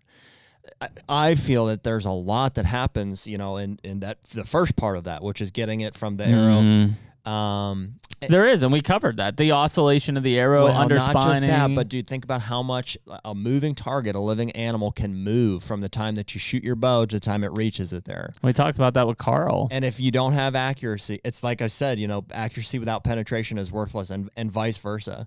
So if I if my arrow's going to penetrate like literally the earth that the deer is standing on, but shit. By the time it gets there from when I shot it, it, it completely ducked or, or whatever happened. Yeah, and I put it in the guts. It's useless. Yep. It's useless. So you, you have to find a happy medium. You know, ultimately you, you, you got to be confident. Well, and these guys your- state it right. You know, they're they're doing it. It's a lab setting. Like it, when they go out and kill these pigs, and it's it's not hunting. It's a it's a test. They're mm-hmm. testing these things for durability, for ultimate durability. To say this. Now that said, is that exactly what you need to go kill a deer? No, kill deer with a field point if you want to. It's just they're pushing these things to the boundaries to understand these are the factors and these are the keys that seem to lead to that 100% fatality based on placement again. Um, but then take that with a grain of salt and figure out what's going to match your own setting and what you need. Mm-hmm. And I think I think you can find a happy medium there. I don't think that it's 380 grain arrows. No. You know, I agree. That that's not the happy that that was what we all shot probably at one point. That's not what you're shooting anymore. Uh, we it is evolved to FOC and things like that. Doesn't mean that you can't throw a hundred grain expandable on the front and smack the hell out of deer.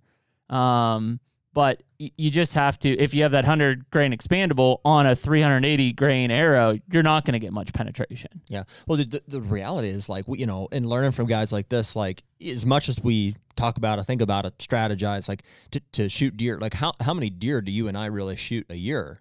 Um, Couple. A handful, right? Yeah, And these, these guys, you know, and- and whoever it every else they have testing, it's like it's Daily. like probably hundreds. Yeah. yeah, Um, and so yeah. We're doing a lot, that. of, That lot is of experience. that is the one thing that. I will say when you talk about durability and all this stuff. It's like I'm pro- if if that one arrow and one broadhead does its job, it basically goes on the shelf anyways. Like if I shoot a mature buck like that, that's not saying I won't use reuse an arrow or a broadhead because I will. Uh, I I usually don't reuse a lot of the. But the only reason is because they're not re. Yeah, you're not going to reuse a, Yeah, a they're braid. trashed. But the bro- the my arrows are always good. I, Yep. I reuse them all the time. Yep. But so like I understand the durability of like once it's sharp, it should stay sharp through the cut. But I mean, hmm I get that. again, it's a it's a deer versus a hog. Big difference, I think. Oh, versus sure. a buffalo. Well, and that's that's the the discussion around like the uh, you know overkill. No, overkill's It's not overkill. It's just there are there's a wide variety of heads that you can kill with Oh yeah. using the same principles they're applying there. Um. So yeah, I think I think that's kind of where it is. But uh, it it'll be good. We're, we're gonna get these new Hoyts in. Uh, it'll be a perfect time for us to kind of break down and maybe recalculate some things on our own arrows. Maybe I'll get my scale out and actually weigh my arrow. I know I have don't mine. know why I, think it's like still in the box, like sitting there. Um, you know, do some bare shaft, you know, nock tuning. Um, but yeah, I mean, I think it'll just be it's a good time to kind of look at it from a reset. Um, do I think I'll shoot a 700 grain arrow? No. Um, but you know, maybe I go from 485 to 585, and you know, put more weight up front and get to 19 plus on an FOC because I think I'm in like the 15s right now. Mm-hmm.